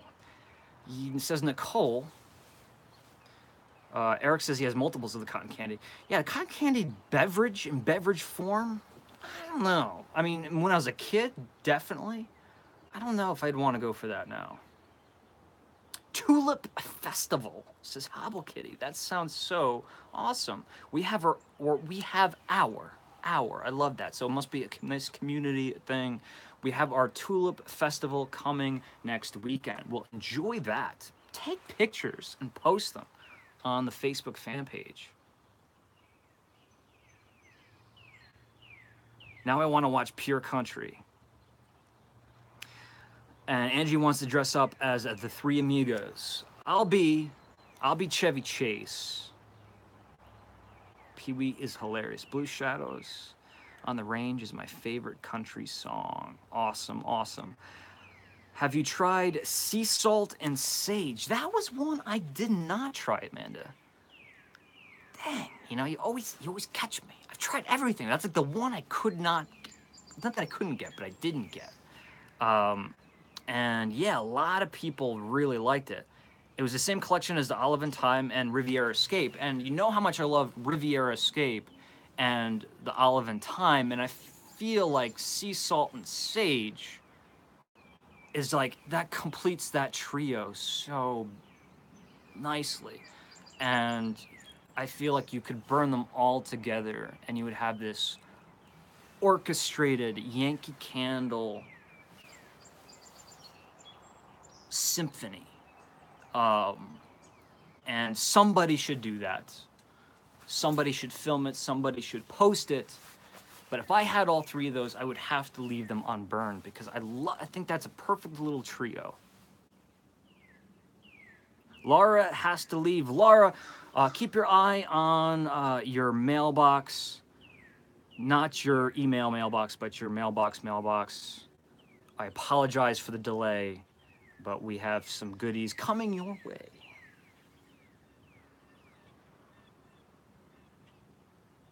I want to try Bath and Body Works Aloe and Sage. Aloe and Sage. That sounds. Aloe. Is that the one I reviewed? Aloe and Sage? Nancy? Aloe and Sage. I don't own it anymore. Um, and I never burned it. Aloe and Sage. Yeah, I believe that was a really good one. It was aloe and a certain kind of sage, wasn't it? Or, or in the description, the fragrance note, it was described as a desert sage. And yeah, it, I, I, I really like that. That was that, I did that evaluation January of 2017. So that was a long time ago. Hit Refresh Collection. You know, something I was talking to my brother about about that hit refl- uh, refresh collection videos. There were two videos.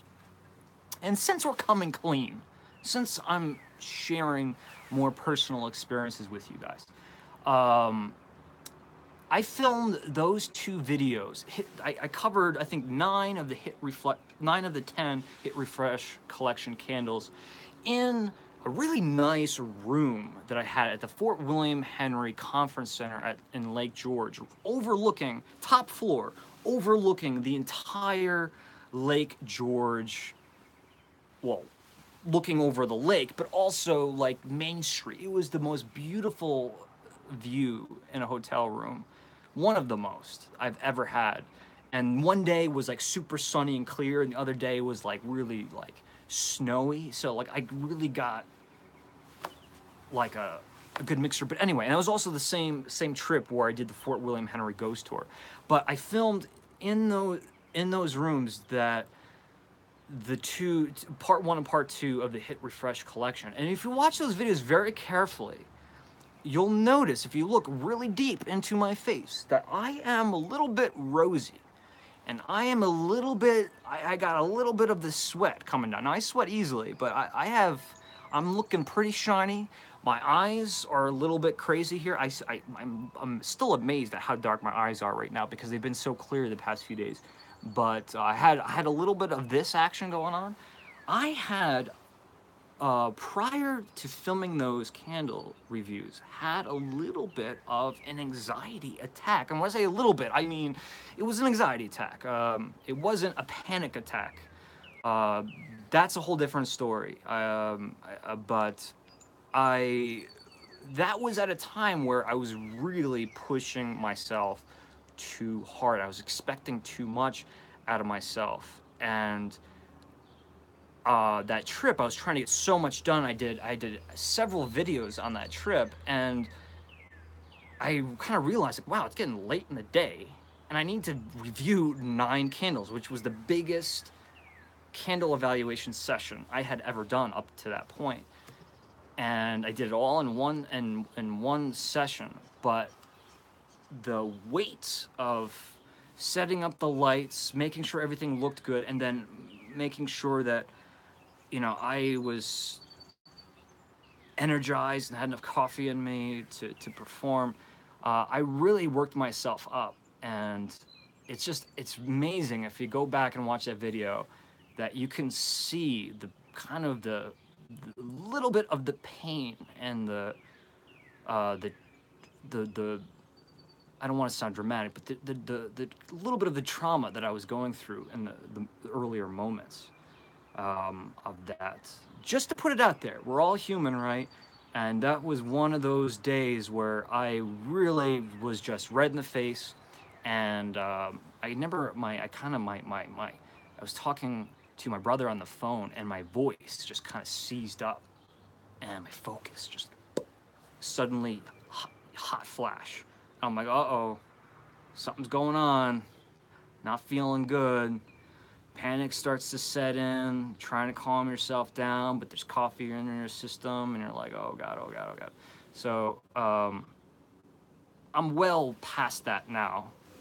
A long time ago. It's not. A, it's not, it never was a sensitive topic. But if you want to give like just see something interesting, interesting, go back to those videos just take a quick look at my face, and you'll see quite easily that you, uh, that I was going through something. I was a mess.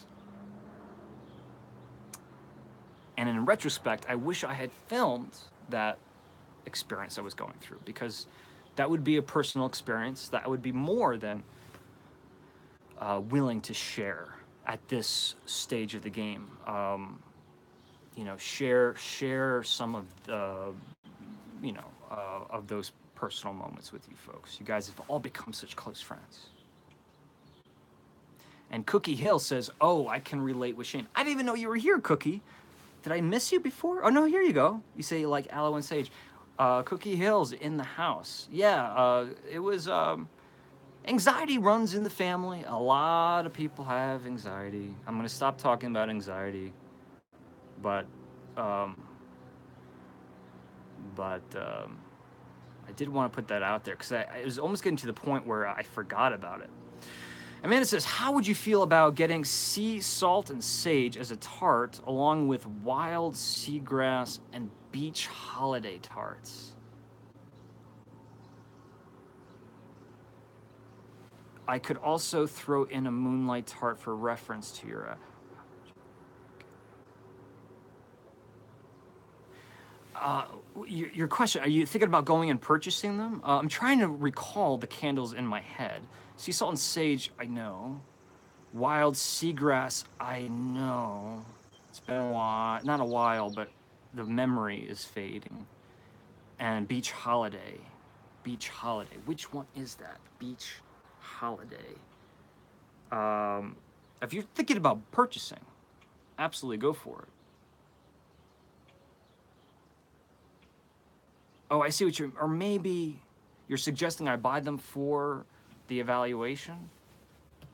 Sorry, Amanda. I um, I couldn't. I couldn't. I, I, I'm, I'm not in touch with what you're asking. Sounds like a good question, though.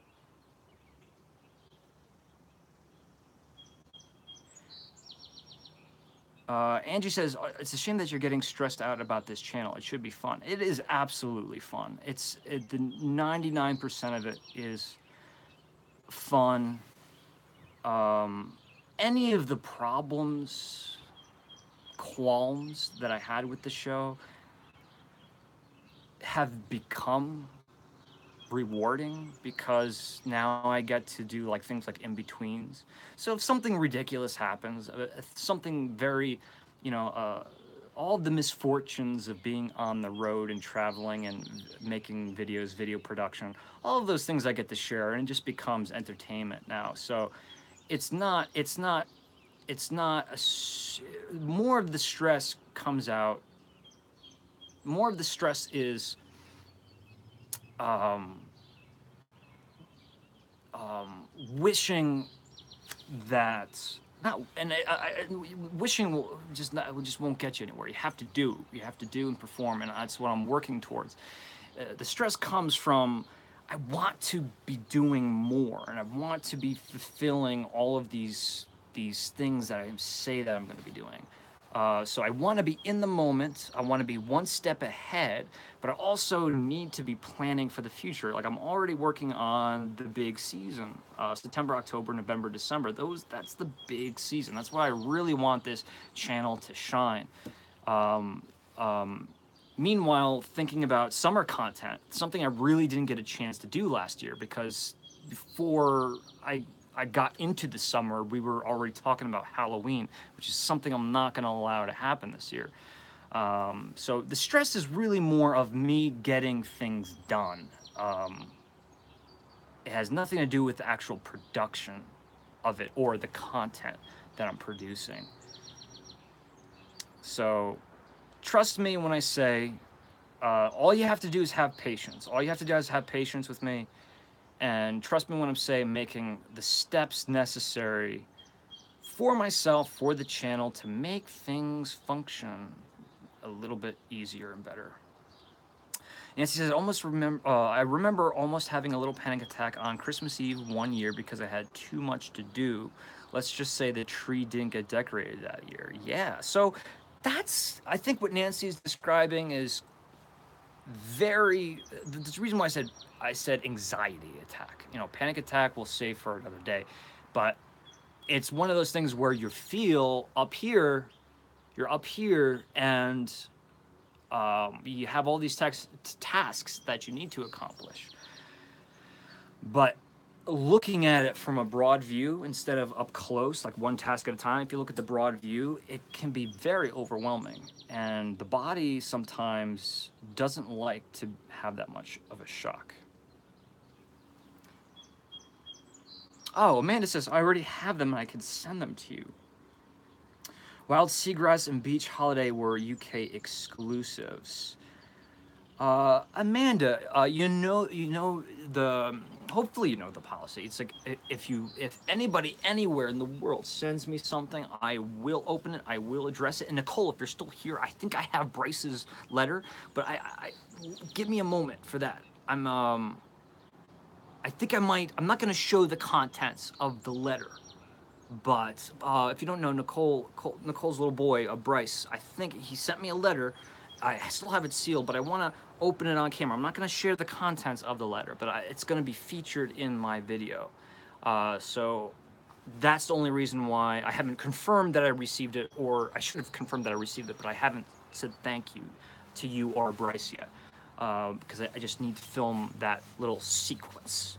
And Nicole says I can share. Okay, well that makes it uh, a lot easier. But I had a really good idea of how that could that letter could help me illustrate a point that I wanted to make. So Amanda, if if anybody wants to send me something, I will share it on a live. I'll share it in a, a main video on the main channel. I will. At this point, at this juncture, I have more than enough time to share anything that you send me. The number one rule is, and I mean this from the bottom of my heart, I don't want people spending money, too much money, especially if it's like a gift. Like I, a gift to me is a silly drawing and a handwritten letter, hello. Uh, but if it's costing a lot of money, if it's a lot of money in your pocket, I just caution you, just be very careful because that's just something I don't want. I, I just don't think that's a great resource of your money. I'm always happy, always happy to receive anything from you guys. So to answer your question, man, if you would like to send them, I do know that sending things internationally can be very expensive. So that is completely completely up to you. You have my word that I will I will share them, I will talk about them. And I could always incorporate them because I still I do have these two uh, UK scents. Um, yeah, I mean, um, I haven't really said a lot about but the PO box recently because um, I don't you know I don't know I mean I, I don't want people to think that I'm asking for like, like send me send me goodies send me gifts but at the same time it's it's not it's not about that it's about sharing and having fun and and the, the surprise and the fun of opening up a box on a live show and not knowing what's inside. Uh, so as long as it's, if you want to send me anything, doesn't have to be candle related, anything. Um, um, uh, just, uh, my PO box is in all my videos. Just make sure you're not spending a lot of. If you want to spend a little bit of money for the show, do that in the form of a contribution or a pledge, because this way it'll translate into the production of the show. I can put that money towards like going to Santa's village this year. You know what I mean? And Jasmine, well done with the diet change. Yes. I'm usually really humble, but I'm so excited. I'm so excited that uh, what I'm doing. I'm so, it's such an early part of the process. Um, but I think the small little reward that has come so far so soon has already made the daunting task ahead of me a little bit easier. Um, I'm very excited to be working on the second part of Living Enthusiastically. Uh, in a perfect world, it would have been posted yesterday, but the simple truth is, s- some still need to be filmed. So obviously, editing is not done yet. So it looks like the episode two and three will be posted somewhat closer together.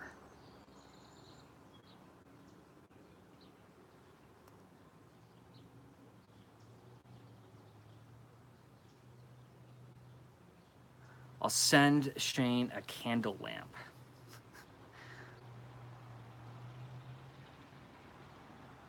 Jasmine says, Yeah, I felt the same way when I upped the fruits and veggies. Yeah, right? It's funny, you know, like sometimes limiting what you can eat makes eating so much more.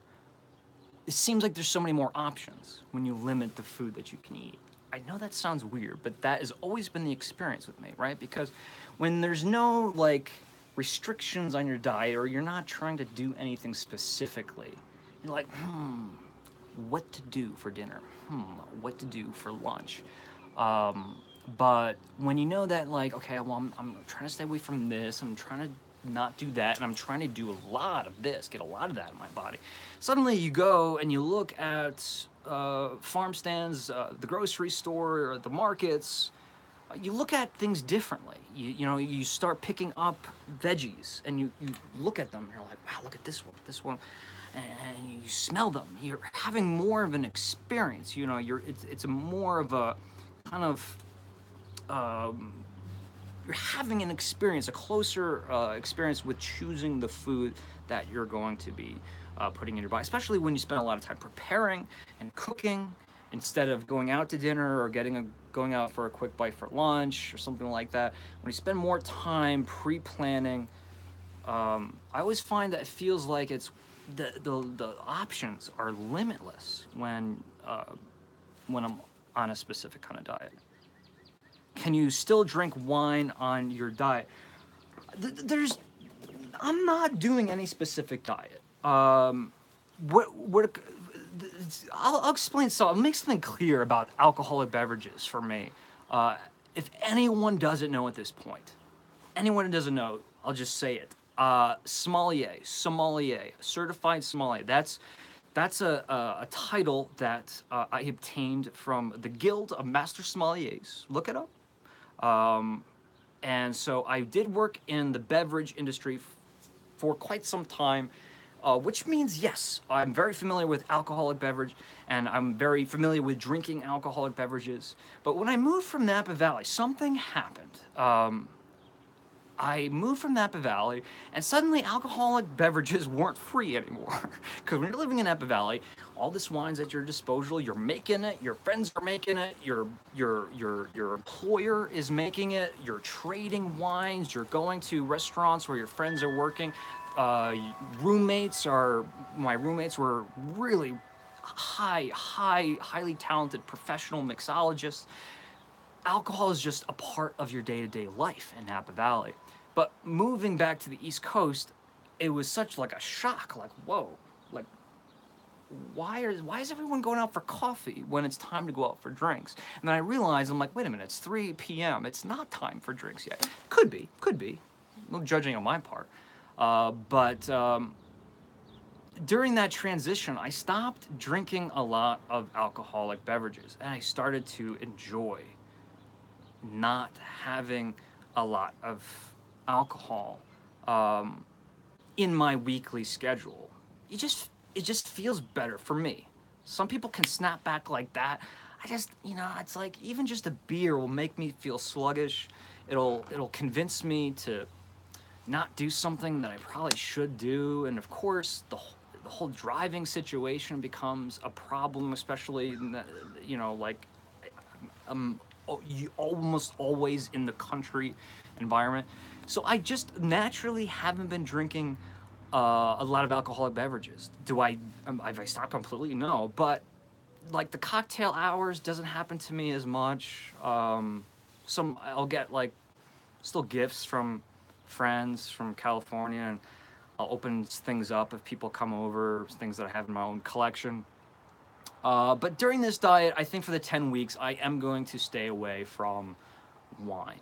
But that is not something that I'm recommending anyone does if they're going on a health thing. I think there's a lot of benefit. There's, there's there is there's a lot of benefits to drinking wine. It's just it's it's the same thing with the coffee. I don't have to stop drinking the coffee, but but since I decided to give it 110% for the 10 weeks, I'm going to stay away from alcohol and coffee.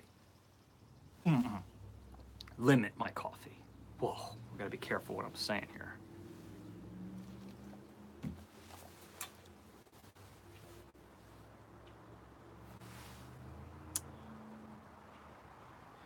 We're crazy about beer in Colorado. Yes. Uh, man, I, I've been postponing a trip to Colorado for the longest time. Um, you know, I kind of did my Portland, Portland and greater Portland area, Willamette Valley wine and beer excursions. And I always wanted to do kind of the same thing for Colorado. Colorado makes some pretty amazing wines too, if you guys can believe that, at um, lower elevations. Um, but beer specifically is the reason why I wanted to go. So one of these days, I got to get out to Colorado just because I, I, I, I've never been to the state. And I think I'd love Colorado. And so many things to do and believe believe you me, if I make it to Colorado, I will be tasting lots of lots of delicious beers. I hope. Um, check this out, Black Band. What is this candle? Just by the, looking at the profile, can someone tell me what this candle is? Come on. You guys know what that is. What is that candle? Not, you can kind of see the beginning of the first word there. Someone tell me what that candle is. Balsam and cedar. What if I told you it wasn't? Uh, something that has been on my mind for a long time, something I wanted to address because you may know, or you may have known, but forgotten. And maybe you're completely unaware. Uh, balsam and cedar is the most successful candle in the world. There's not one candle in the world of any one type that has sold more in quantity and probably has has been introduced to so many people worldwide. I am completely open for someone saying, no, Shane, you're wrong about that. But it's Yankee Candle's most popular scent. Uh, by far selling the most and it um, Yankee Candle is just without question um, has such a everybody knows Yankee Candle. Wasn't there pine cone in lime? There was a pine cone in lime. Very good. Uh, that was a very I, I loved like that one a lot because I always liked citrus and and and and, and, and pine uh, or coniferous coniferous trees. Um, but so balsam and cedar, uh, uh, plain and simple, it's pro- to, to, to be very just blunt about it, it's like the most successful candle, scented candle of all time. And I just, I don't, I would love to see someone kind of like have a discussion with someone who wants to say otherwise. But my point is, this isn't balsam and cedar because there was a precursor. There was a precursor to balsam and cedar. Balsam and cedar was not released I mean, most like really popular Yankee candles came out in the early days, early 80s. Mistletoe is another big one. But you can see balsam is on balsam. It says balsam right there, right? Um, um, but I think Balsam and Cedar was released in 1997, I think, give or take a few years it actually could be, a, a, yeah, could be a couple years after that. It's just surprising. You think that it's would be as old as time, right? Just like spiced pumpkin, and um, um, um, uh, Midsummer Night and and um, fresh cut roses. You know, like the, the classic Yankee candles, blueberry. Uh, but before there was balsam and cedar, there was something that well, balsam and cedar replaced this candle. Does anybody know what it is? Christmas wreath. That's another good dress. Oh, oh, oh! Hobble Kitty's got it. Hobble Kitty has it. A balsam fir. Yes, balsam fir. I know that's hard to see, folks. I apologize. I'm trying to do my best here. And this is just a little guy um, because I I bought this little one without investing in a big one because, you, as you can imagine, they can get pricey. But oh my good lord. This is an amazing candle. And it's not balsam and cedar. It's not. This is a far more, I mean, balsam resin, right? But this is by far to me a much more resinous candle. A big, big jump backwards from cedar. Cedar, you still have the the cedar notes in here. You're always gonna have the, probably the cedar notes, but this smells like Christmas to such a big degree. There's a lot of candles that are similar, but um, this is one I, I just thinking to myself like when I got this in, it was I'm I'm so happy I bought. It. I'm thinking like, wow, this should be a part of the lineup. This should not be gone. Balsam fir, uh, the classic. I say it all the time. I say it all the time. The frankincense, the myrrh, the three wise men, the the the incense that we smell around Christmas time, whether that be uh, in uh, uh, churches or um, other places of of uh, other faiths uh, that burn frankincense and myrrh. I really am not familiar uh, if, if, if, it's really just a Christian thing or, or if it, it, it, goes beyond that. But you know, of course, there's such there's such a history, thousands and thousands of history, years of history of myrrh and frankincense being used um, for medicinal purposes, for hygiene purposes, for for for, for many things. So uh, I think everyone has an association with it, but this is a, a really really beautiful candle. So makes me want to venture to guess would this ever be a returning favorite and i don't think they would uh, and the only and the sad thing is is because it's so similar to balsam and cedar um, visually it, it's almost it's almost exactly the same but I do want to get a larger candle of this. And if you do, or you are a fan of the frankincense, myrrh, incense, Christian cathedral, St. Patrick's Cathedral, Christmas time in Manhattan, um, that wonderful billowing clouds of resinous smoke without being too smoky. It's really the resin, it's not the smoke. Uh, with that strong pine uh, coniferous tree background, the more of the, the sweeter pine, the pine needles, the pine cones, the sap. Um, this is a candle that you might might want to uh, dig up on say eBay, something like that. It could be quite expensive, but I am I'm I'm I'm getting prepared for Christmas too, and um, that is one for sure I will be discussing come this holiday season but I do need to get a larger jar of it. It is really not like mistletoe at all. It is. I'm trying to think of one that. What's a good Yankee candle that has the frankincense and myrrh?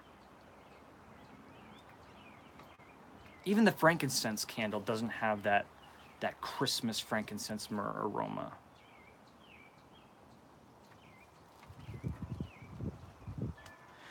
The t- I wonder what the top selling Yankee candles are besides balsam and cedar. The top selling candles are going to be the the the classics. So spiced pumpkin, uh, harvest. Those two have always been a staple. They have never gone away. Of course, um, you, you know candles like witch's brew they trend. It seems like some years they sell out instantly. In some years, like nobody wants anything to do with Witch's Brew. It's just mainly the the the, the consensus uh, on each and every year of how people feel about patchouli. Um, uh, for Christmas, uh, it's balsam and cedar easily, uh, but uh, uh, um, Home for the Holidays was always the biggie. Home for the Holidays has been around for ages. Christmas Eve has been around for ages, and um, and then the very early ones are more of the simplistic ones. Uh, not simplistic, but like single name candles, like blueberry. Uh, spiced apple was the f- one of the first, like the original candles, spiced apple in the 70s. And it amazes me that that candle never makes a comeback. They don't bring that back because it was such a large part of Yankee Candle's history for almost two decades. Um, uh, Stormwatch, believe it or not, has been around since the, uh, the early 80s. Uh, Honeydew Melon has been around since the early 80s. Um, that one's actually, I don't even know when the last time they, they had that in a regular production. Um, Fresh Cut Roses, uh, Cliff Walk, uh, and what's the other one? Uh, sea Sea Mist Rose. Sea Mist Rose is another rose candle that was really popular in the 80s, and I think was introduced in the 70s. Christmas Cookie is a very very popular one, but it is one that was brought on later in the 90s, kind of like Balsam and Cedar. Apple Pumpkin. Apple Pumpkin's amazing. I don't know when Apple Pumpkin made its Holiday Bayberry. That one's been around a while. That one's been around a while. Pink Sand, yeah, Pink Sands is definitely. Uh, thank you for bringing that one up. That's definitely one of them, Rachel. That's one that's like that. That would fit into a category of Yankee Candle classics. Like if you had to think of like the heavyweights of Yankee Candles, Pink Sands, even Golden Sands at this point, Midsummer Night's Dream or Midsummer Night. Um, and um, some of them would shock you how old they are. Like I bet you, you guys probably wouldn't think like French vanilla would be old. But that was introduced in like 1974. 1974. Um, uh, McIntosh, and see, there's a good example. Like Macintosh, you think would be, I mean, that is certainly a heavyweight too. That is one of their best-selling candles uh, but it's not as old as we think it would be, because I think that came around late 80s, early 90s. I wish I had all the dates stuck in my head. Clean Cotton is old, Midnight Jasmine, Pink Sand, Soft Blanket, uh, all of those. Thank you, Amanda, for that. So maybe we should do that. Maybe uh, I should go on, um, maybe when I'm at the village, go on a little bit of a voyage. Just people who work at the Yankee Candle Village who've been there for 20 plus years. Some of them closer to 30 years. Um, and thankfully, they are the incredibly nicest people. Um, Dana, huge shout out to Dana. Dana is responsible for all of the displays, of actually executing the displays, designing the displays. She was um, mentored by Mike Kittredge Sr., or the second, or the, the creator of Yankee Candle. She was uh, really under his wing and was trained uh, back in the golden days. Uh, I don't know if you want to call them golden days, but the early days of South Deerfield. Uh, and she's still doing it. She's responsible for the the the Bavarian Village and Nutcracker Castle, all of that stuff. You know, you know, I've had conversations to her with her uh, about like where the inspiration came from, what Mike Kittredge's, you know, uh, what he wanted, what he wanted to see. And I told her, I'm like, someone should write, you should write a book. I told her she should write a book because she just has this uh, wealth of knowledge of the village, but also the history of Yankee Candle. So maybe I'll go, I'll talk to people like Dana and ask uh, if he, you know, had to create a list of like the top five, top 10 most successful or most unique or the candles that have had, even if they're not made anymore, the candles that have had the most impact uh, for Yankee Candle over the course of, um, I mean, we're getting close to three and a half generations now. Wait a minute. God, four generations. Four plus. I can't do math if you guys are uh, if you guys are wondering. Does anyone remember the 90s? It seemed, I remember the 90s. Uh, does anyone remember, oh, in the 90s, I apologize, Rachel. My speech that made a mistake. In the 90s, it seemed like everyone had a mulberry candle. I didn't have a mulberry candle. Sage and citrus. Ah, sage and citrus has been around forever as well. Thank you for bringing that up, Marshmallow. Marshmallow, is it Lori? Laura? Laura? I'm sorry that I feel so embarrassed that I don't have names down pat. It's maybe it's not even Laura. Uh, um, I want to get on the first name basis with a lot of you folks. Um, but yeah, there was um, a brand new country kitchen pre 1985 sage and citrus candle. I posted a picture of it on my Instagram. Uh, a lot of people are like, "Oh, nice, nice catch! Like nice, nice find. It's part of your collection now." Mm, I missed it. I didn't get it. I didn't get it. I was hoping I was gonna get it. It was unlit. It was so beautiful. I think that's what pushed me to buy the baby powder. Um, I got the equivalent, same age, um, almost unlit. It was lit probably for like, looks like for like 15 minutes. A baby powder from the same time period. Um, but yes, Sage and Citrus has been around for a long time. Lori, Laura. I get both names. Okay. I think that's why I was having trouble.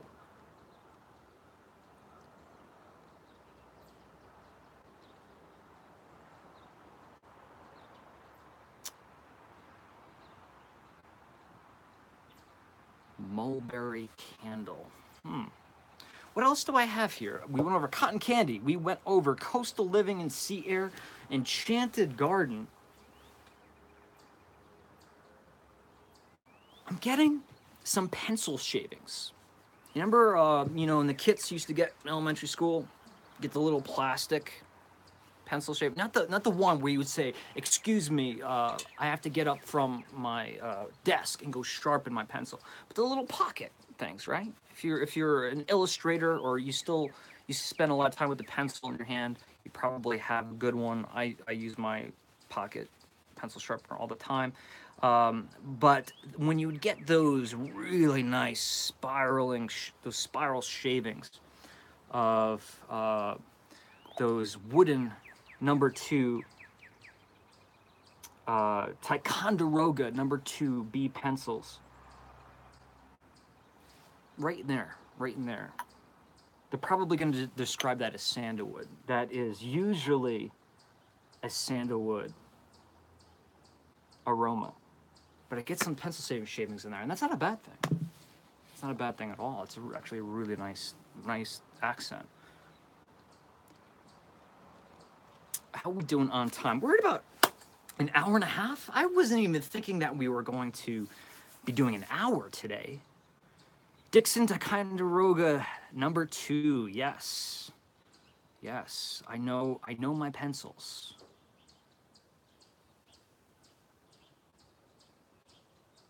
Oh, oh, oh, oh, oh, let me be more clear. I thought pencil shavings were cedar. I'm not commenting on the material of the pencil. I'm talking about the note. Whenever I smell uh, pencil shavings in the fragrance world, that the pencil shavings, that's what comes to my mind, but that's not what it actually is, right? When I smell pencil shavings, it's usually sandalwood in the fragrance construction, the recipe. It's kind of like I get pencil shavings, I say pencil shavings on wine too I'm drinking a young Chardonnay from Napa Valley, one that's heavily oaked with American uh, oak, and you smell it. I'll say pencil shavings. I won't would never say that to a customer, but if I was speaking to like friends or you know people who work in the industry, like I'm getting a little bit of that pencil shaving actions. And if they work, if you work in the industry, you know what I would be talking about because it's used a lot of times as a descriptor. But that smell signifies that it's American oak versus French oak. At least that should be what it signifies, uh, or at least that's one of the little tricks because American oak is a much tighter grained wood uh, and it, it, imparts more of that raw lumber like flavor into the wine. So I'm taking a little tangent, but I'm just kind of, I should have made myself a little bit more clear. I'm not saying there's um, pencil, uh, the pencils are made of sandalwood. Yeah, so if you smell like, if you smell a Chardonnay, young Chardonnay, and you smell it and you're like, mm, uh, this smells like uh, a little bit like Home Depot. It smells a little bit like sawdust. It smells a little bit like pencil shavings. Um, good chance it's American oak. This is a little trick. If you smell a Chardonnay from Napa Valley, it could be from the same region, but most Napa Valley producers use French oak, believe it or not. Um, and if you smell a Chardonnay and it's like, wait a minute, this smells a little bit more like um, um, a little bit of like baking spices, like freshly grated Saigon cinnamon, or this smells a little bit more of like a treated wood. Uh, this smells a little bit more spicy and a little bit more sweet, and the smell is much more subdued. Um, uh, actually got it wrong. I said American oak was much tighter grain. French oak is much tighter grain, much tighter grain. I can't believe I said that. I apologize. So the, what, what thing is with French oak, it doesn't impart the as much flavor as American oak. Um, so um, just a little tip if you're doing wine tasting, if you just taste a little bit of the oak and it's more of like a treated wood, uh, it doesn't smell like fresh lumber, like timber smells like treated wood or has a little bit more of that vanilla, creamy, baking spice, cinnamon, nutmeg, the barrel spice because they they caramelize. Um, they don't care. It's not actually caramelization. Dang it! It's uh, it's a Maillard reaction, but they burn the inside of the barrel, so the resins are kind of like caramelizing, right? They're, the resins in the wood are caramelizing, producing sweeter flavors. That's why we get those very interesting baking spice flavors in wines. Or if you get like a burnt or a very dark, like an espresso flavor in a wine, like a Syrah, it's because they heavily toast. They burn the inside of the barrels. They literally burn, set them ablaze. Wow. This turned into a wine show for a long time there. I apologize. I miss talking about wine. Telling you, the, the, the, thing I miss most about wine and beverage in general, Scott says um, he likes a nice bourbon, whiskey based spirits, gins, spirits in general, brews of all kinds, ales, uh, even non alcoholic beverages. The thing that I miss most about beverages is smelling them. It's not even drinking them. Is that crazy? I miss the process of having, you know, 10 glasses of different tequilas in front of me, 10 glasses of different wines in front of me, red wines, white wines, whatever it may be, different beers, and systematically smelling them side by side and breaking them apart and analyzing them and using, again, creating your own vocabulary to communicate what that beverage smells like and the experience of sniffing it, tasting it, and um, and, and again sharing it. I would love to do a wine channel. Um, no one asked. Lot, some of you guys ask from time to time, like, why don't we do like a, a wine show? I would love to do it. It just would cost an enormous amount of cash because we could sit and talk about uh, introductory, not even introductory level wines, but uh, bargain wines for days and days and days. But your guys are never really going to learn anything. If you really want to learn about wine, you need to be drinking wines that are representative of what they are, representative of where they came from, what grape they were made of, and the process that the the beverage was made. Um, I remember once being scolded by a master, a master sommelier. Keep in mind, folks, there's only a few hundred of these people in the world. Um, um, Jason Heller. I wasn't going to say his name, but I don't think he'd mind me sharing the story. I was at uh, kind of a roundtable tasting with Jason Heller, young guy. He's master sommelier. He's one of the youngest guys who ever accomplished that feat. And we are doing a blind. Everyone brings a wine, and you put it back. And then uh, you systematically go over one wine at a time. And as a round test the wine before you know what it is, bring it to my friend. Uh, she needed to bring a Sangiovese, uh, a good representation, um, a, a, a, a Sangiovese from Chianti region, a Chianti Classico. Just, you know, I was like, why don't you just get this wine? It's not that expensive. She was she didn't have a lot of money to spend. I'm like, why don't you just get this one? I've had before. It's it's drinkable. She brought it, and um, as soon as the master sommelier, Jason, as soon as Jason tasted, and forgot he didn't even taste it. As he smelled this wine, he put the glass down. He's like, "Look." He addressed everybody in the group. It's like, you know, it's like it's a. It's very important if you're going to be having group tastings, professional group tastings like this, that you, whoever brought this Sangiovese understands that you cannot bring a wine that is not not representative of what it is to a tasting group because you're really going to start making enemies fast. And it was like hearing this coming from Master Som, I'm like, oh my God. I'm like, thank God I brought a better wine that was um, went over well. There was nothing wrong with the wine. But you have to, when you're studying wine, you have to get wine that's not like a left field, random, unique thing. It's got to be it's got to be represent what that wine is from the region, from the maker, from the grape, from a, a type of climate, whatever it might be.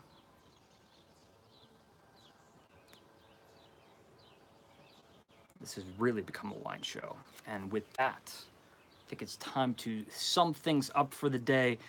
As always, folks, it's always a pleasure. It's always fun. It's always a highlight of my week to come uh, speak with you and hang out. It's really what this has become is just a hangout session. Um, there's such a, a fantastic group of folks here on this secondary channel. We're kind of like this little mystery channel just floating around. Um, and uh, I will be doing more lives on the main channel and and and as as we get further down the path closer to the summer but for now, I really like these these low key ones because I can kind of keep you guys in touch where I am. It doesn't feel I don't feel like I've disappeared off the face of the earth because sometimes I don't spend a lot of time on social media. Some weeks, a lot of things are in motion uh, for the channel, and there's nobody more aware of. Thank you, Angie. Thumbs up. Thumbs up. Helping me out. Helps me out. Uh, there's nobody no more aware of, of like, uh, getting more videos done at a faster clip, at a faster pace. All of it's happening. All of it's happening. Uh, but this is a very large transitional period uh, for me personally, and it's a good thing. It's not a bad thing. Uh, but more importantly, it's a transitional period for the show. It's it's important for the longevity and the success of the channel that we kind of, again, I'm going to use the analogy of breaking it and then repairing it in such a way where it's going to function better than it did previously. And that's exactly what I'm trying to do, trying to just branch out, spiral out, never leave those opportunities behind, uh, try to get a wider audience. Um, but uh, it's taking a little bit longer for me to put all the pieces together. Um, but we're getting closer and closer. And I got a lot of exciting surprises for you guys in the future, and a lot of things that I haven't even discovered what I'm gonna do yet. Like there's there's still tons of time on my calendar that's empty. So we can discuss. We can. There's options for us to test it, and with this this health kick and this new little mini mini series, uh, as it is, I'm going to compile all of the episodes into one mini documentary, and uh, um, I think it's uh, I think it's it's an adventure that is certainly worth taking. Anyway, wow, talking too much. It's always the hardest part finding that perfect place to call it quits. So, as always, thank you for joining. I see all your comments here. I want to read Eric's real quick. I saw a couple. I saw uh, yes, do Homeworx. Uh, the Harry Slatkin candles. They th- that that will be happening. To what degree, I can't promise. My screen is getting very weird. I don't know if you guys are having the same problem, losing the connection. Uh, great live stream today, says Travis. Thank you, Travis. Thank you. Uh, you're always such a positive, positive voice in all of the platforms. Thank you. I really appreciate it. I hope you know that I'm sincere about that. Eric says, in the fall, it would be great to see homework stuff. Too late for the current ones now, since they will stop selling them in less than a week until fall. Yeah, um, I just figured there's so many other wonderful folks out there talking about it uh, including Harry himself, right? Um, so it's I just I don't I think there might be if I were to start doing Homeworx religiously, um, it might be an oversaturation of content. Um, I want to see other people. I want to see other YouTube people do different things. I don't. I don't think it's best that we're all covering the same things and doing like a Siskel Ebert kind of thing. If other people have Homeworx covered and it's covered very well and it's in the hands of uh, people who uh, with passionate souls who are talking about it uh, and sharing their opinions, uh, I, I feel like my time is best used going in other directions. But that doesn't mean that I won't touch on Homeworx. Um, yeah, it looked like the screen was melting. Uh, okay, so it wasn't just me.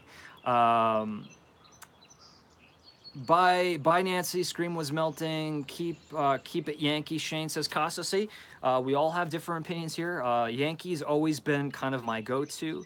That and the smaller companies, which is a reminder. If you didn't check out my Cottage Wicks video, I posted it last night on the main channel, Cottage Wicks. Uh, not only go out uh, and check out that video. Um, that was a fun one to film. But check out Cottage Wicks. Go by, say hello on social media. Go by and say, you know what? I found you through the Candle Enthusiasts. If you're not aware of them, if you're aware of them and you follow them, that's awesome. You probably do because they're very popular. But uh, by giving me a little shout out to them, lets them know the video is working. And I, I, I got to meet the proprietor and the owner of Cottage Wicks, um, Jessica Rosario absolute sweetheart. The the one of like you know, it's just like it was just a, a brilliant little afternoon. Got to see uh, her shop. It wasn't really a shop like uh, she was having like a um her shop was open for sales for a weekend. She doesn't have a storefront. I don't think, at least not yet. Um, but in that shop, she showed a lot, a little bit of behind the scenes filmed so much footage. All of that footage was lost during the hard drive crash of 2018. And um, so uh, I finally got that video done without the supplemental footage of her actual shop and uh, her on camera. But I will be meeting up with Jessica again. Uh, we just have to work out scheduling. But make sure you check out that video. And like I said, go by, uh, say hello, no purchase necessary. Say hello, leave a comment, say hi. If you want, say the candle enthusiast or just tag me in your comment. Let them know the candle enthusiast sent you. Let them know that the video is working. That is what's important. And that goes with everything, that be Yankee Candle or Witch City Wicks or any other candle company that I'm talking about. Uh, it's essential for our growth. So thanks you, thank you again, all of you. Um, and those of you guys, Costa, did you mean 100% Yankee Candle, but keep the rest minimum? You show off Yankee Candle so well. Uh, yes, I will. I will. Um, you know, I'm just trying to get as much in before the Halloween stuff begins, because once Halloween begins, there, you know what happens. But I'm gonna keep a keep a nice lid on it this year. Keep it to a minimum. Um, and try to make my videos concise on Halloween. So I'm not putting a Halloween video after Halloween video but um, right now it's cool before the storm. It's no the the, the fall preview hasn't come out yet.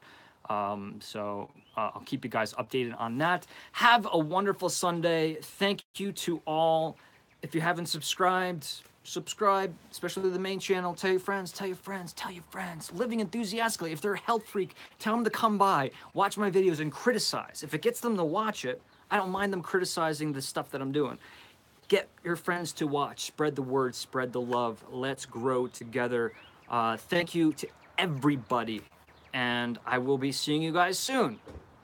Thanks for joining. Have a good Sunday. Bye bye now.